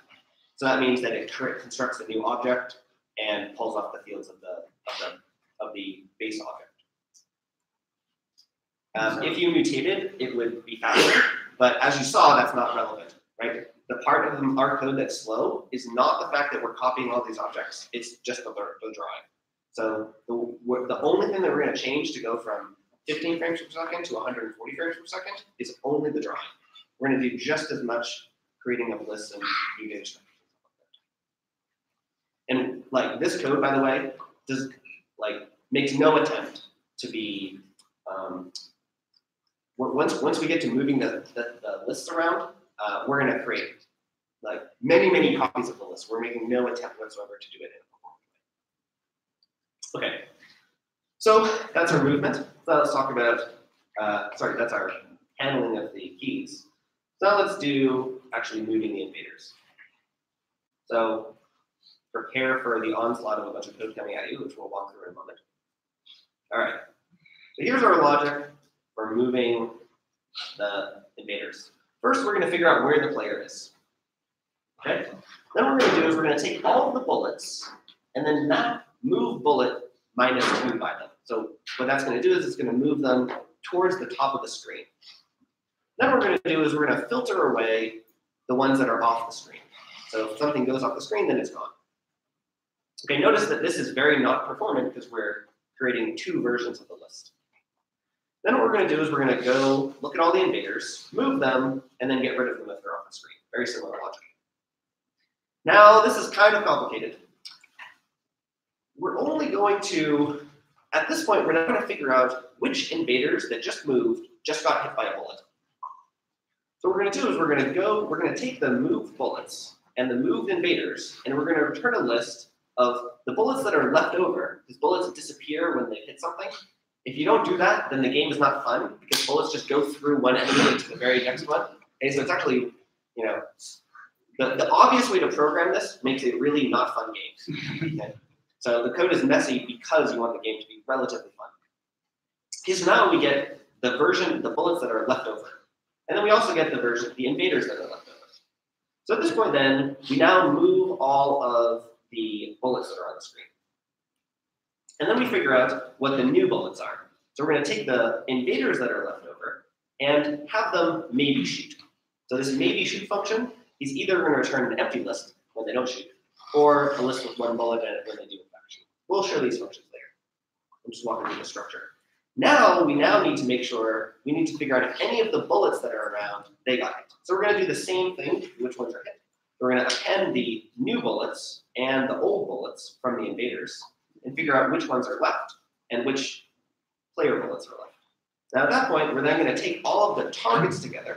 These are the things that could hit the player. So we're gonna append the leftover invaders and the leftover um, invader bullets. And then if it's if there's no targets left, then we won. If one of them hit the player, then we lost. And otherwise, we continue the game with all the leftover stuff. So because this game inherently is concurrent, we had to make decisions about what order to do things in. So for instance, like um, invaders shoot bullets, bullets move, invader bullets move, and all of these things can hit the player.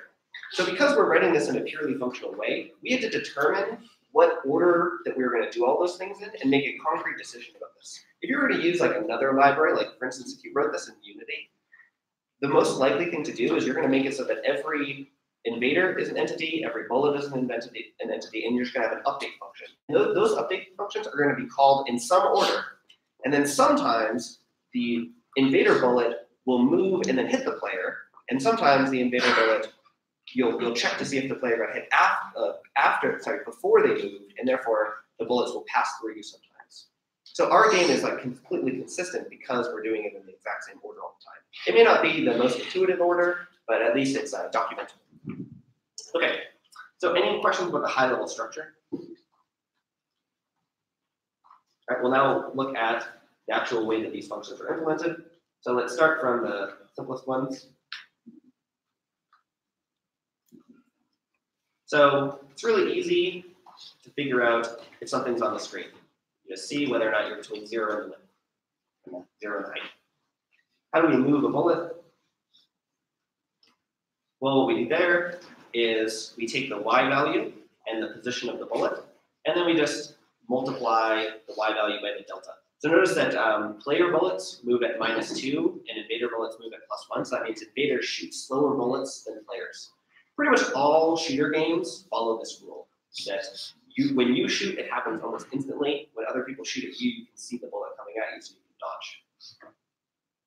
dodge. Um, how do we figure out to move an invader? This is probably the most complicated part because invaders have to move, go from left to right, and the ones on the top row move to the right, the ones on the second row move to the left, and when they get to the edge, they pop down. So this is a really annoying program to write. So the idea is that you figure out what position you're on, and this is rounding. And then if your row is even and you're not at the end, then you move over a little bit. But if you are at the end, then you pop down to the next row. And if you're odd, then if you got to the end, you pop down to the next row. Otherwise, you move a little bit in the other direction. So this makes it so that they have that, you know, standard Space Invaders pattern. And so this is this is the kind of function where uh, you should really write lots of test cases to make sure you're doing it properly uh, what I did is I just experimented and I watched it, and they did all sorts of incredibly bizarre things until I figured out if I wanted to do it. One of the great things about animations in games is that it's really, you know, you can generate uh, thousands of test cases per second by just playing it. you have a question, Ryan? No, I just think it, so. Direction is just determined by row number. Correct. Yep. Yeah. Okay. So similarly, another simple function is the maybe shooting function. So here what we do is we maybe shoot over the, the, um, the invaders and basically flip a coin and 1% of the time we shoot. Uh, I experimented with lots of other values and 1% is relatively fun. Um, and the way that you do that is that you create a new position that's just ahead, that, that's as much ahead of you as your size is. So the bullets appear like in front of the actor. Okay, what, what, I, what have I not done? Um, other functions that are simple are the hitting functions. Okay, so you figure out if something is hit hits you by um, basically like figuring out seeing if the distance between you those two points are within the actor size. Notice, by the way, that this is like a total hack because the actors are not actually displayed the same size. So this means that like as a bullet comes towards you, if it gets within like a bounding box around you that's always a circle, then you just get hit. So you know, this is not uh, improving this function would make the game more fair. But as, as it is, it's reasonable. And then when you want to figure out if one position is hit by another, then you just OR map over that. What OR map does is it calls this function on all of these values and um, returns the first one that's true. So it stops early. Okay, um, the last function that's kind of awkward is that one that figures out when things are hit. So we'll show you that. Okay, so we're going to use this helper function called remove question mark. And remove question mark is like the racket function remove, which by the way, if you don't know what the racket function is, remove takes an object in a list and it returns a list without that object in it. What remove question mark does is it takes a function that figures out if the thing is a, that, uh, re- that removes the first thing that's not in the list, sorry, where the function returns true on. So uh, that's right here. So if the first thing in the list returns true on the question, then we return the rest of the list. And we also return a flag that says whether or not anything actually got removed. Okay, so that's what the question mark part says. So if you're removing something and the list is empty, well then nothing got removed, so you return false. You actually did hit something and you return true. And then this is kind of awkward because when you when it doesn't match and you recur, you basically have to figure out whether it got removed in the rest of the list and just pass that back. This is the perfect example of uh, something where you want to use uh, this code right here. There, there's a really beautiful uh, monadic Haskell version of this. It's purely functional, um, where you can write the flag once and you can stop early, something like that. Okay, um, the find hit p bullets function, that's the one that takes our list of bullets and then our list of targets, and what it's going to do is it's going to make each bullet try to hit the targets, and any bullet that does, it throws that bullet away and it doesn't use it anymore. And then it returns which bullets are left over. So if you've finished, um, if there are no bullets, then obviously you didn't hit anything and there are no bullets left over. If there's one bullet though, well then you figure out whether or not that one bullet hit one of the targets. And remove question mark will tell you whether or not it, it hit something. So if it hits something, then that means that you're not going to include it in the bullets that come back because that one got used up. Otherwise, you will include it. And then you have this recursive call where you ignore that bullet and look at all the remaining targets. And it's important that you look at the remaining targets, not all of the targets, because uh, you don't want multiple bullets to hit the same object. Okay, so at this point, the function is done, or the program's done. I'm pretty sure I didn't forget to copy anything. Just double check. All right, so it's now actually running, and ooh, just in time, and we can use it. And like I said, notice that we are at uh, you know 15 frames per second. Okay, so now what we want to do is I want to show you how to. I think of it. So I mean, maybe this is a little bit too uh, too my own horn a little bit, but I want to show you how to graduate from Big Bang. Okay, so Big Bang is a really great experimental environment. Um, but there's lots of things that are not flexible about it, and there are lots of things that are not performant about it. Um, and so what I've done is I've written two separate libraries um, that first add more flexibility, and then once you add more flexibility, then you can convert to also using um, the higher performance link, which couldn't work without the more flexibility.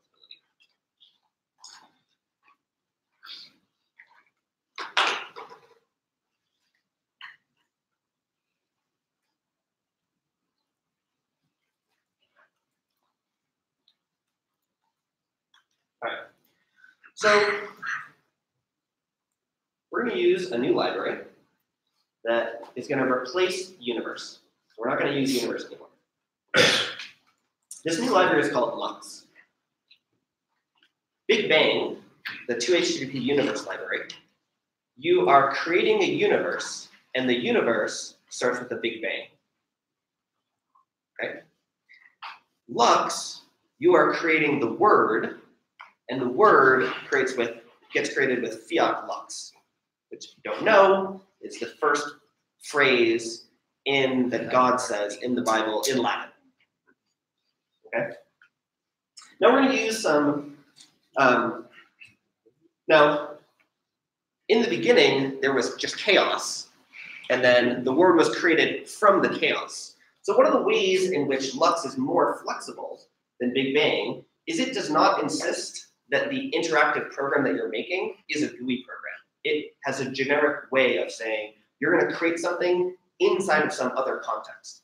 So there are GUI ones, there are text-based ones, um, there are ones that run purely um, in the background, there are ones that you're just making sounds and stuff like that. So there are many of these different things where you can run interactive computations, and so they're called chaoses. So we're going to get the GUI chaos. Now, because we're going to use 2htdp image, we want to be able to display values in our chaos. So we're going to get Lux chaos GUI value, and we're going to use a convenient uh, key handling library. We're just going to pull off a bunch of different things. Okay, so we made that one change. Let me let me put most of our changes. We're going to put most of our changes in this region right here because we're going to be changing a lot of stuff having to do with the state. Now that GUI value thing, we're going to create a function called output image, which this make GUI value, which we got from Lux Chaos GUI value, we're going to use this function output image. It does some other stuff too, but we're going to use it in a really simple way. So we just need this output image function. Essentially, every time we want to display an image, we're just going to call output image. Um, the next thing is, is that, um, so in, uh, actually, yeah, what's the right this? Hmm, Okay, I'll do this. Let's go change this function down here. Rather than calling Big Bang, instead we're going to call fiat lux on the additional on the initial state. Right? But now, when you call fiat lux, you have to say in what chaos you're doing it with. So we're going to do call with chaos, and then we pass that up. Now, what chaos are we doing? Well, we're going to do it inside of a GUI chaos with the width and height that we specify. Okay, so notice that we now are no longer saying move invaders, handle key, draw screen. We're also not telling it how fast to update. All of that information in Big Bang is part of the call to Big Bang. However, in Lux, all of that information is going to be part of initial state. Initial state is essentially going to be like an object, and that object is going to have a method called draw yourself, and a method called on key, and a method called tick, and a method called how many frames per second are you right now. And all of those things will be able to be changed at any at any moment. And in fact, um, the objects that get returned from these functions don't have to be the same kind of thing as initial state starts as being. So that means that like you can be the way I think about it, you can be like a menu object, and then when you click something, you can then return the game object, and then when you lose, you can return a new menu object and go back and forth. Okay. So how do we actually get that information inside of the initial state?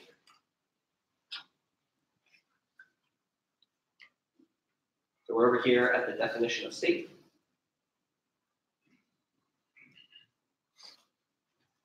And the way that we do it is we're going to use the Racket generics system. So we're going to say that there are some methods, and state is an example of a word. So word is obviously a pun on worlds, which is what you define in 2htdp image, sorry, 2htdp universe. And so we're going to define a few different methods. So the first method is a really simple one. It's going to determine what the label is of the of the window that pops up. So the word label function takes the word and it takes how long it took to generate the image, the frame time. And then we're going to use the standard function, lux standard image, that's going to say spacey invaders, and then it's going to show us the debugging information of the frame time and the frames per second. So every time it runs, it calculates what the current frame time is in frames per second. And it actually isn't just doing that for debugging purposes. It actually needs to know what that is because it's going to, um, ticks are going to arrive at a consistent 60 frames per second, as opposed to in universe, where what it actually does is it generates one frame and then it waits, waits a 60th of a second. Which means that the individual frames will not occur at a consistent tick rate. They will occur, basically the tick time in the universe is a difference between them, not an absolute one. Is there a reason why Big Bang doesn't subtract the render time? Probably because it- it's not considered important to do that, and the people who wrote it don't think that it matters. Students. Okay, sure. So next, how is our, um, how are we gonna out- output things? So in Big Bang, you write an on draw function. But in Lux, you just make a generic word output function.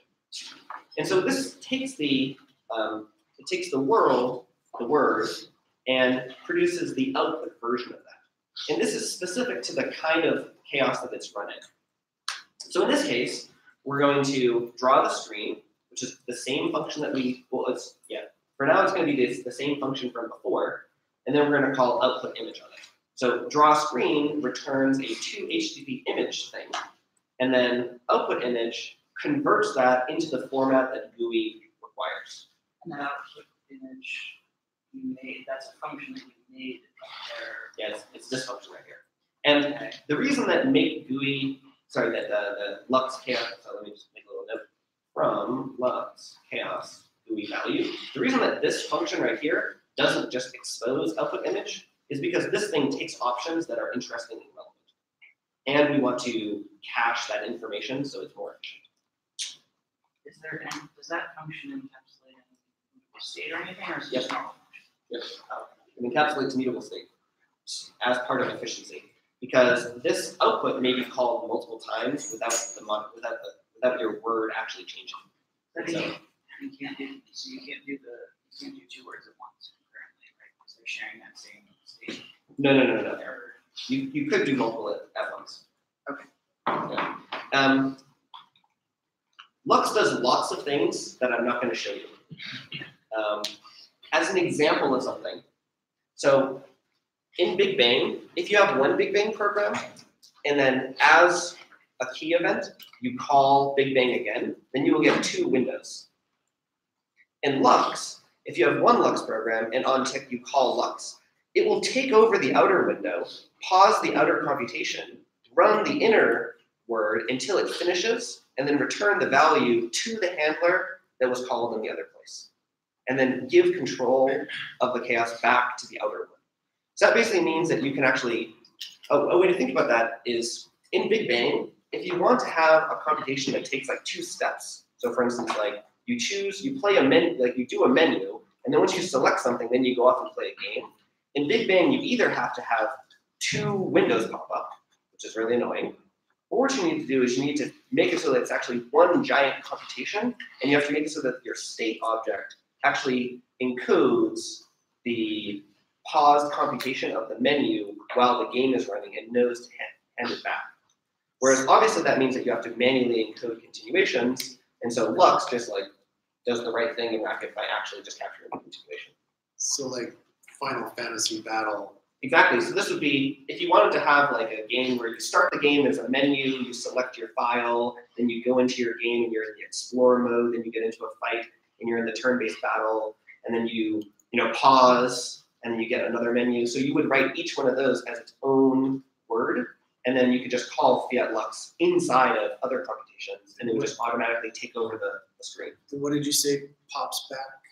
When so uh, notice that when we were playing the Big Bang game and I got hit, the game stopped. So when, when your computation stops, a value gets returned to the caller of fiat lux. So you could pop back modified world state. Exactly. So you can pop back like how much experience you got or the updated player stats or something like that. Yeah. Okay. So the next thing that we need to do um, is we'll handle events. Uh, let me just make, mention one more thing about the outputs. Like I said, the outputs are specific to the kind of chaos that you're running in. So if you're running in the text environment, then you're not going to return a, a picture. You're going to return a, you're going to return something that draws text on the screen. I have a library that's very, very similar to uh, to HTDP image uh, for making ASCII art. It's um, yeah, it's called Art, Ras- Racket ASCII art, um, and so uh, it's very it's very fun. Um, I have another one that uh, makes it so that the output of your game is a two-dimensional soundscape, and it and it displays that by creating a stereo sound thing. So you can like, you know, you can make it so that like this. So the the the example, the main example that I have is like a Pong game.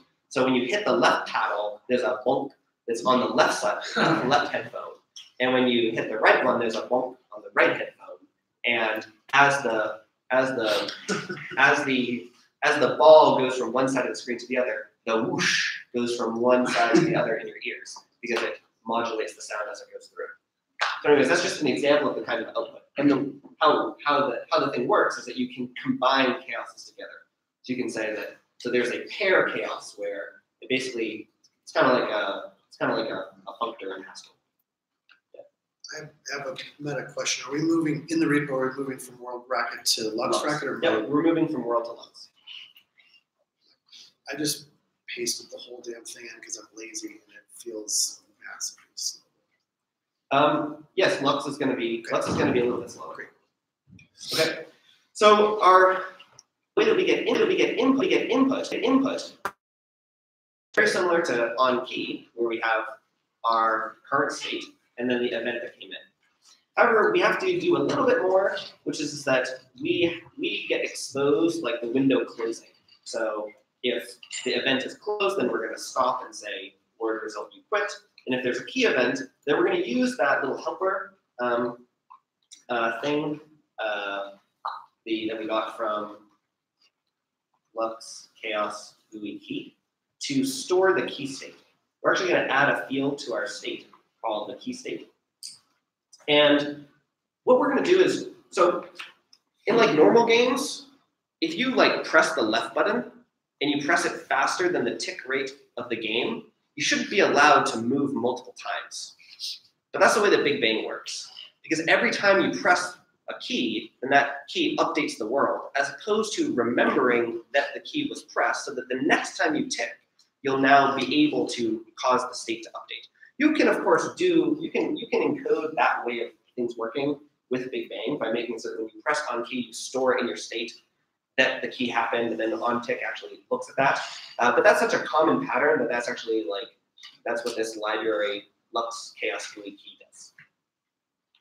And this is actually going to be relevant for our program because it's actually going to run fast.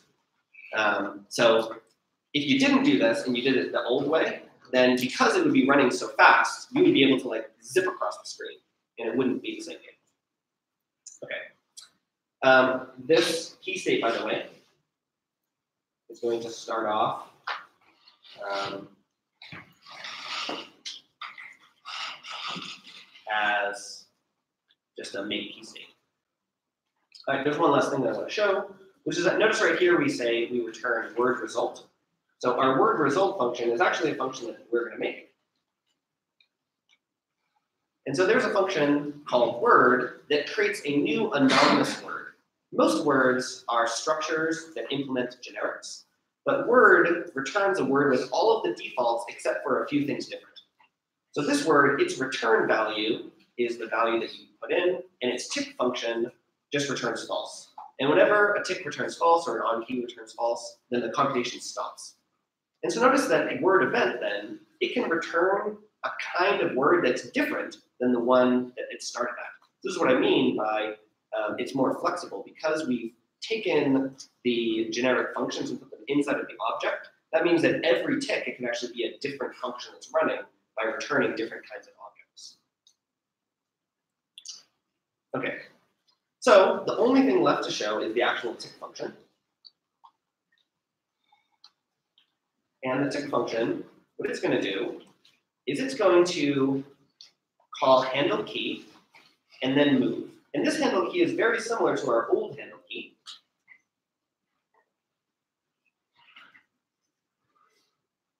So this is our old handle key. And our new one, what we're going to do is we don't get the KE argument anymore. We just get one thing.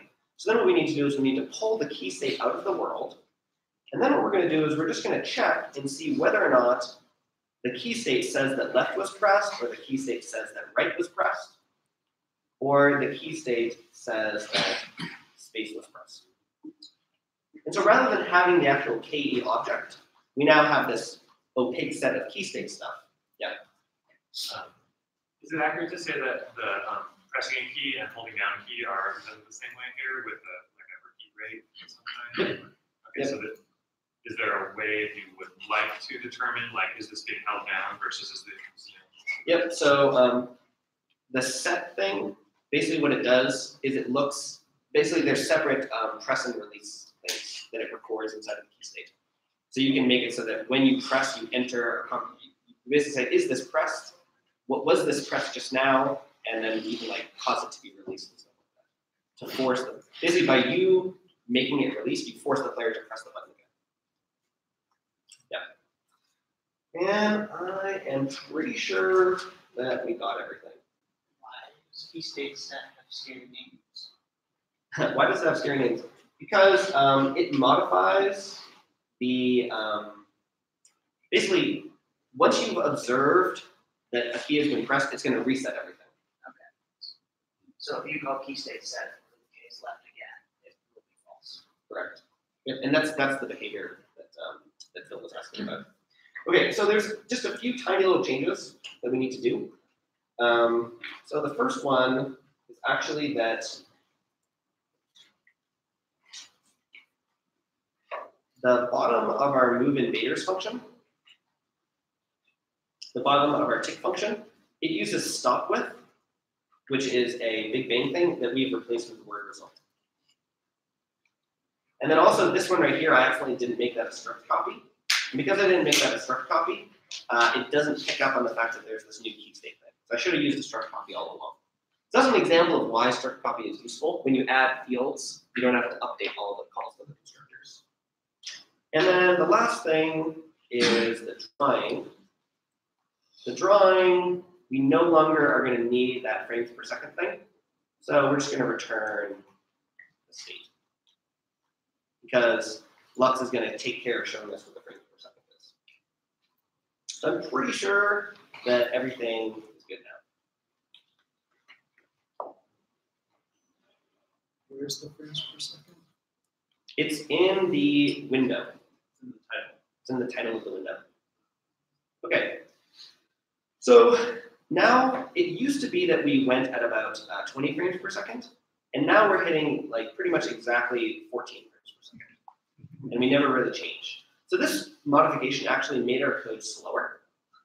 Um, and you can kind of think of why is it slower? Well, it's slower because we're actually allocating a few more kinds of objects.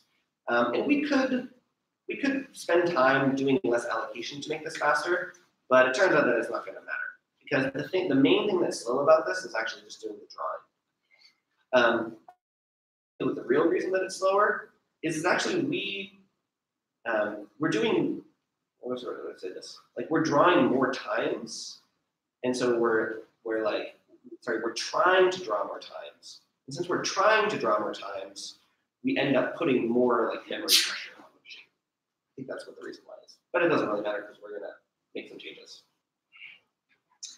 Okay, so now we're to switch to the mode lambda version. So mode lambda is a um, is a replacement, in some sense, for uh, basically a replacement for uh, this function lux chaos GUI value. Because basically what that thing does is it takes a 2htdp image object and actually draws it onto a canvas. And so a 2htdp image is an algebraic description of a bunch of shapes and how to embed them inside one another and how to draw something. Mode lambda is going to replace that with a different way of thinking about images. And the, sorry, a different way of thinking about scenes. So um, notice that um, when we draw, we basically say, here's what my background looks like. Draw this object player in this spot, then draw this object p bullet in these spots, and so on. When we actually draw the screen, we really just have a list of sprites and their positions, and then we just take all of those and we draw them. Mode Lambda provides exactly that abstraction. It says, here's a list of sprites, and here's where their positions are, and go draw those. Now, in this program, it doesn't make a difference, but we are giving up something when we use Mode Lambda.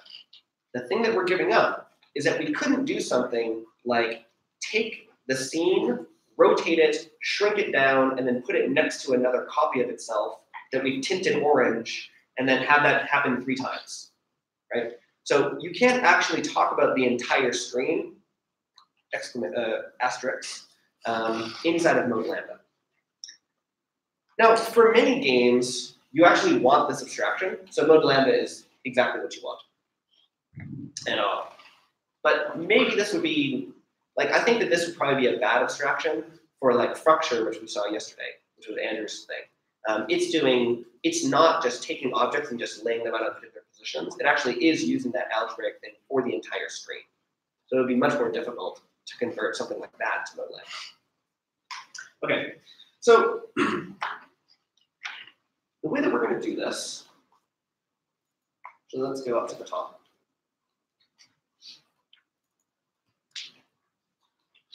So the first thing is uh, we're going to need to talk about colors. So we're going to get the color database from Racket. And then we're going to get the mode lambda libraries and remove GUI value. Okay. The next thing about uh, mode lambda is that first of all, mode lambda exposes to you that it's doing OpenGL rendering. There's a software renderer and a GL renderer, and you have to decide which one you want to use. The software renderer is extremely slow. It's just for uh, making test cases. The other thing is, is that Mode Lambda has a compilation model. So before your game ever starts, you decide what pictures you're ever going to show. And you compile those into a sprite atlas. Let me show a picture of the sprite atlas.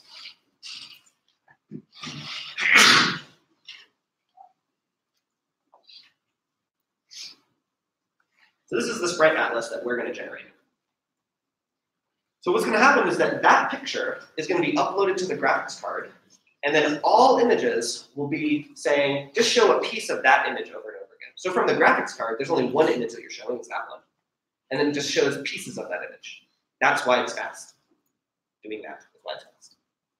As opposed to how um, 2htdp image works, 2htdp image basically says, all right, it's time to draw something. Okay, put my cursor here and go like this, and then draw an ellipsis and pop in like pixels as we're going around. It's very, it's much slower. Whereas we're just going to copy a block of memory into a particular slot. You don't have to think about any of those things, by the way, but that's how it's going to work. Okay, so because of that, we need to construct this database of sprites. So what you do is you make a sprite database, and then I'm going to find a little helper function called define sprite. Sprites are identified by symbols, so we're going to add the sprite to the database, and then we're going to use the name for it to be that symbol. So basically, um, we're gonna we're not gonna have the background anymore. We're gonna get the background another way, but we're gonna change this define player to define sprite. That's all we need to do. It used to be that player was an algebraic object that we would plop in over and over again. Now what we're doing is we're adding it to the database. Oops, sorry. We're adding it to the database and we're giving it the name player. And then in our, the other parts of our code, we're going to refer to the name player. So we're going to do that to player. We're going to do that to the bullets. We're going to do that to the invader. And we're going to do that to the invader bullets. Once we've made all of the sprites, what then we're going to do is we're going to compile the database. So we're going to take the database and compile it. That comp compilation process is going to actually produce that image that I showed and a bunch of other helpful information. For debugging purposes, I saved that out to the disk, which is how I could show you the picture. This saving process has a loading process as well, so you can actually make it so that your code saves something and then loads it, and that's part of your build process. Because potentially, it's much more expensive to draw your pictures than it is to like load them and display them, which is pretty much the case for like all 3D things where you want to compute like a shadow map, maybe like the normals and everything like that. Okay. The next thing that we need to do is uh, initialize uh, mode lambda. So the way that we initialize mode lambda is like before, we had this output image function. We're going to delete that output image function, and we're going to get a mode lambda draw function. So the mode lambda draw, we're going to say, here's the database that you're going to use, here's your width and your height, and here's how many layers you have. So I told you that it can't deal with things about the entire screen, but that's actually a lie, it can. So in mode lambda, you have, you draw on a particular number of layers, and then those layers, you can individually like rotate them, scale them, and you can do a basic 3D effect where you basically like imagine a flat thing, you can like tilt the screen backwards or tilt the screen forward. That's called uh, mode seven in the Super Nintendo. Um, so it can do the exact same things that the Super Nintendo did. Like, and it's, it's, it, it uses the exact same algorithm that it does. So for instance, if you remember Mario Kart, the way that Mario Kart works is it draws your picture in the middle of the screen, and then there's a mode, mode seven layer, which is the map. And that's just a little tiny picture that's actually the uh, 2D version of the map. And then what it does is it blows that up and rotates it and moves you around. So basically, when you're when you're driving in Mario Kart, you're not actually the, the character is not moving, the background's moving around. And that's what this allows you to do. And it can create that 3D effect where it makes it tilt the image and makes you feel like you're driving on top of something. Okay. Then we need to um, get the background color, which is a little bit annoying. So we're going to call find color on the database, get the red, green, and blue. Okay. And then now what we're going to do is we're going to change our output. So our output function used to call output image. Now we're going to change it. So it's going to call our mode lambda draw. We say here's the current configuration of all the layers. This list is called the static list, and this is the dynamic list. And then here are the background colors. Mode lambda has a concept of there being static elements of your game and dynamic elements of your game, and it optimizes the static ones. So for instance, like suppose that you are making, um, I don't know, like Pac-Man. The level itself is static, it never changes, and the characters and the dots, those are dynamic. And so it has a way of making it so that the if the static part stays the same, then it's much more optimized.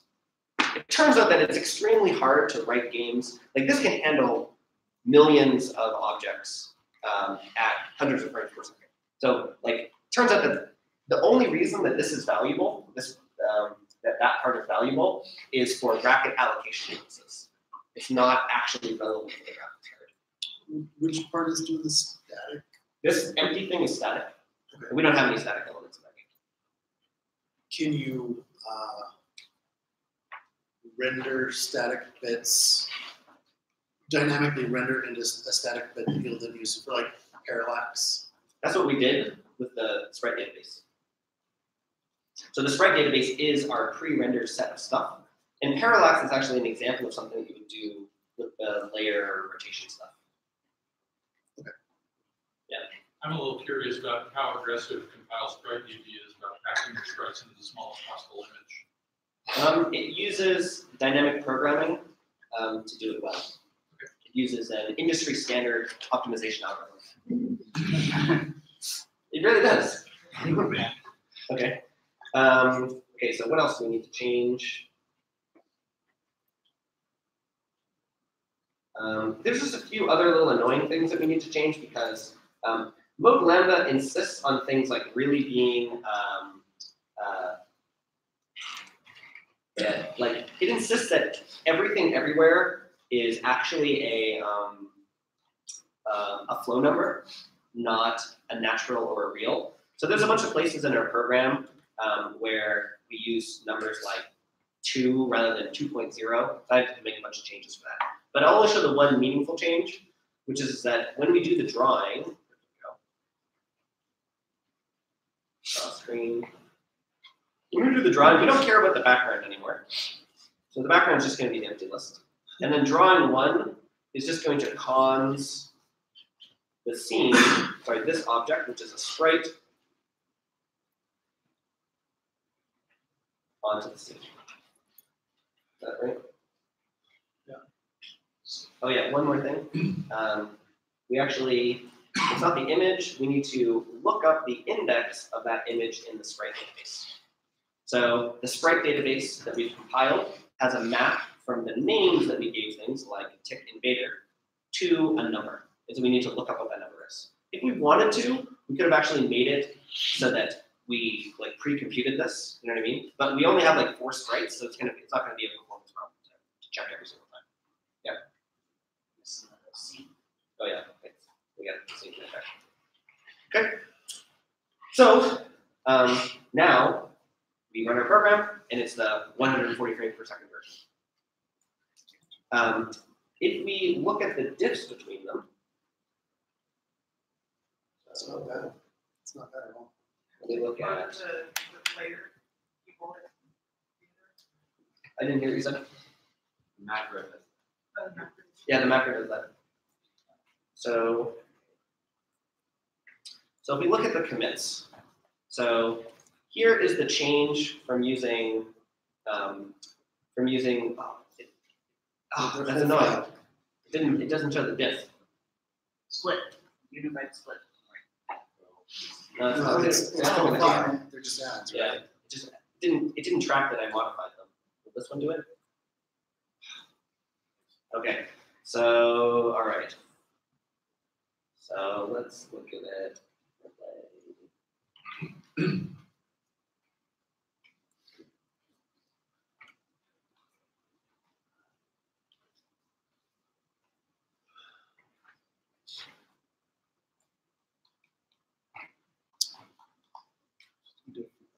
Okay, so if we look at the world version versus the Lux version, um, then we modified the requires, we added, we basically moved the information from the Big Bang call up to here. We added the key state, we modified the key handler a little bit, and um, we forgot we had to do that struct copy. Now, when we go from the Lux version to the Mode Lambda version, we have to modify the requires. I had to make it so that that half became 0.5. I had to make the sprite database and change the define into define sprite. That's that category problem. Here's a place where I had to change a bunch of, you know, ones or a bunch of twos into 2.0.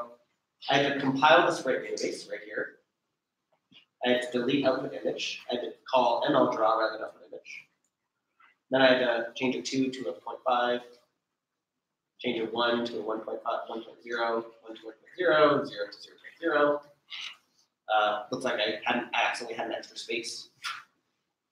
And then I had to change place image to cons. And then I had, oh yeah, I had to do one last thing, which I had to tell the mode that GUI will start in with the GUI mode. GUI mode is a symbol that comes from um, Mode Lambda. And that basically just tells it what version of OpenGL to use. Okay, so relatively minor changes. And recall that we have a much more faster version. Ooh, I made a mistake.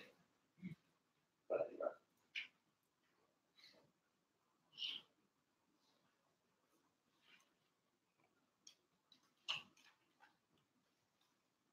Weird. What what did I change?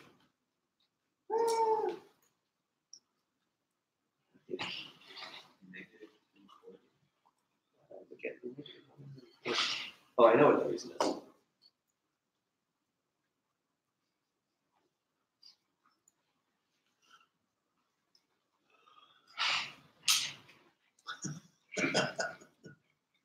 Coding off screen.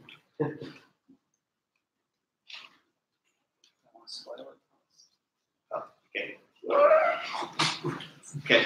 So now we have the fast version. Um, while I'm playing the game, let me tell you what the problem was.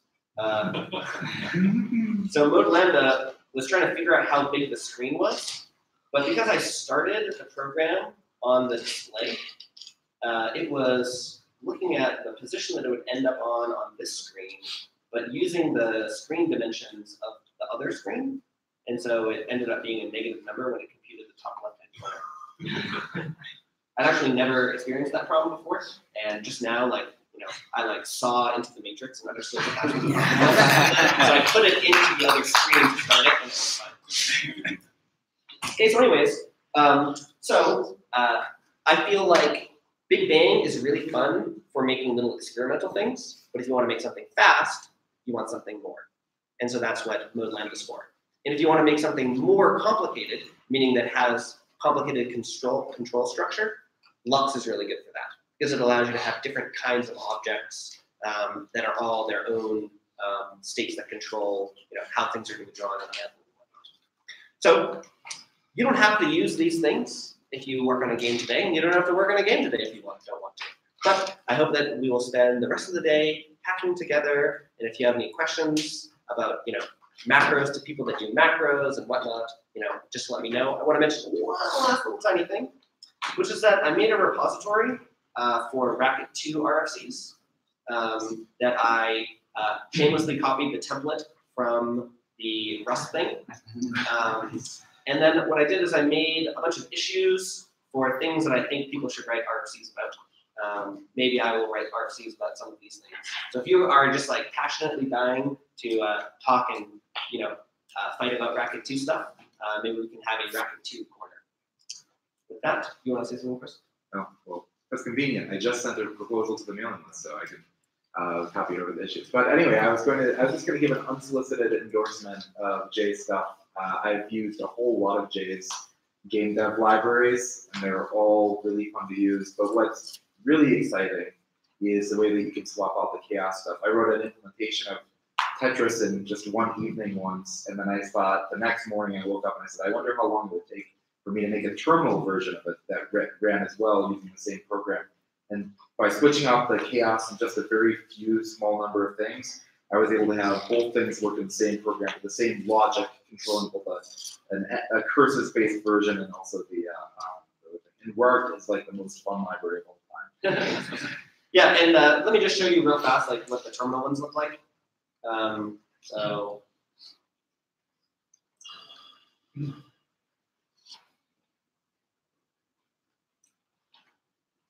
Okay, so here's a little terminal program that like searches through all of my bookmarks and stuff. So I'm gonna start my uh, game database program. Oh, oh, I clicked the wrong one. Uh, oops. Okay, so kill that. Another one, sorry. Wasn't paying attention where my cursor was.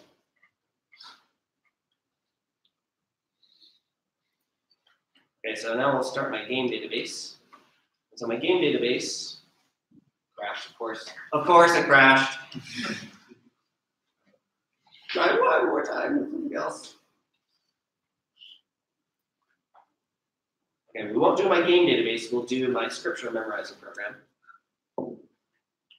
Okay, my scripture memorizing program, it uh, shows me a scripture and it like closes the stuff that I don't want to do. And so this little program, like I can like switch between the different things I need to write down. So this is, I say unto you, um, I forget what that is. And? No, no, it's not. Okay, uh, Sir. and now, after you have gotten to the straight, narrow path, all is done. Hold, I say unto you, nay. That's what it is, nay. Okay. So then when you're done, I'm gonna skip over the rest. Then you hit enter, and then it tells you what you did right and what you did wrong, right? So it helps you do like bolding, inversing, colors, layout, it can lay out tables, lots of stuff like that. So anyways, it's really fun to make little terminal programs. So like that little program right there, that's 50 lines. Um, so, yeah. so anyways, so I'm pretty sure that uh, food will be here really soon. If it's not here really soon, we'll just get hacking. So have a great hack fun day. Thank you, Jay.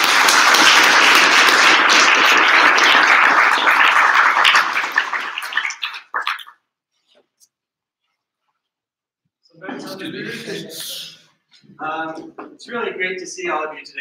You should know that compared to past years, you are 50% bigger, whether measured by numbers or by carryover from the previous day. Unfortunately, I ordered food for a typical amount. So, more food is coming. You will find some food is here. Uh, some pizzas are coming to supplement that, including half, veggie, half of them being veggie pizzas. So for those of you who've been here all week, you can wait for pizza and do like a full cycle back to the same pizza you got on Monday. Pizza's really good. Jay, I have a question.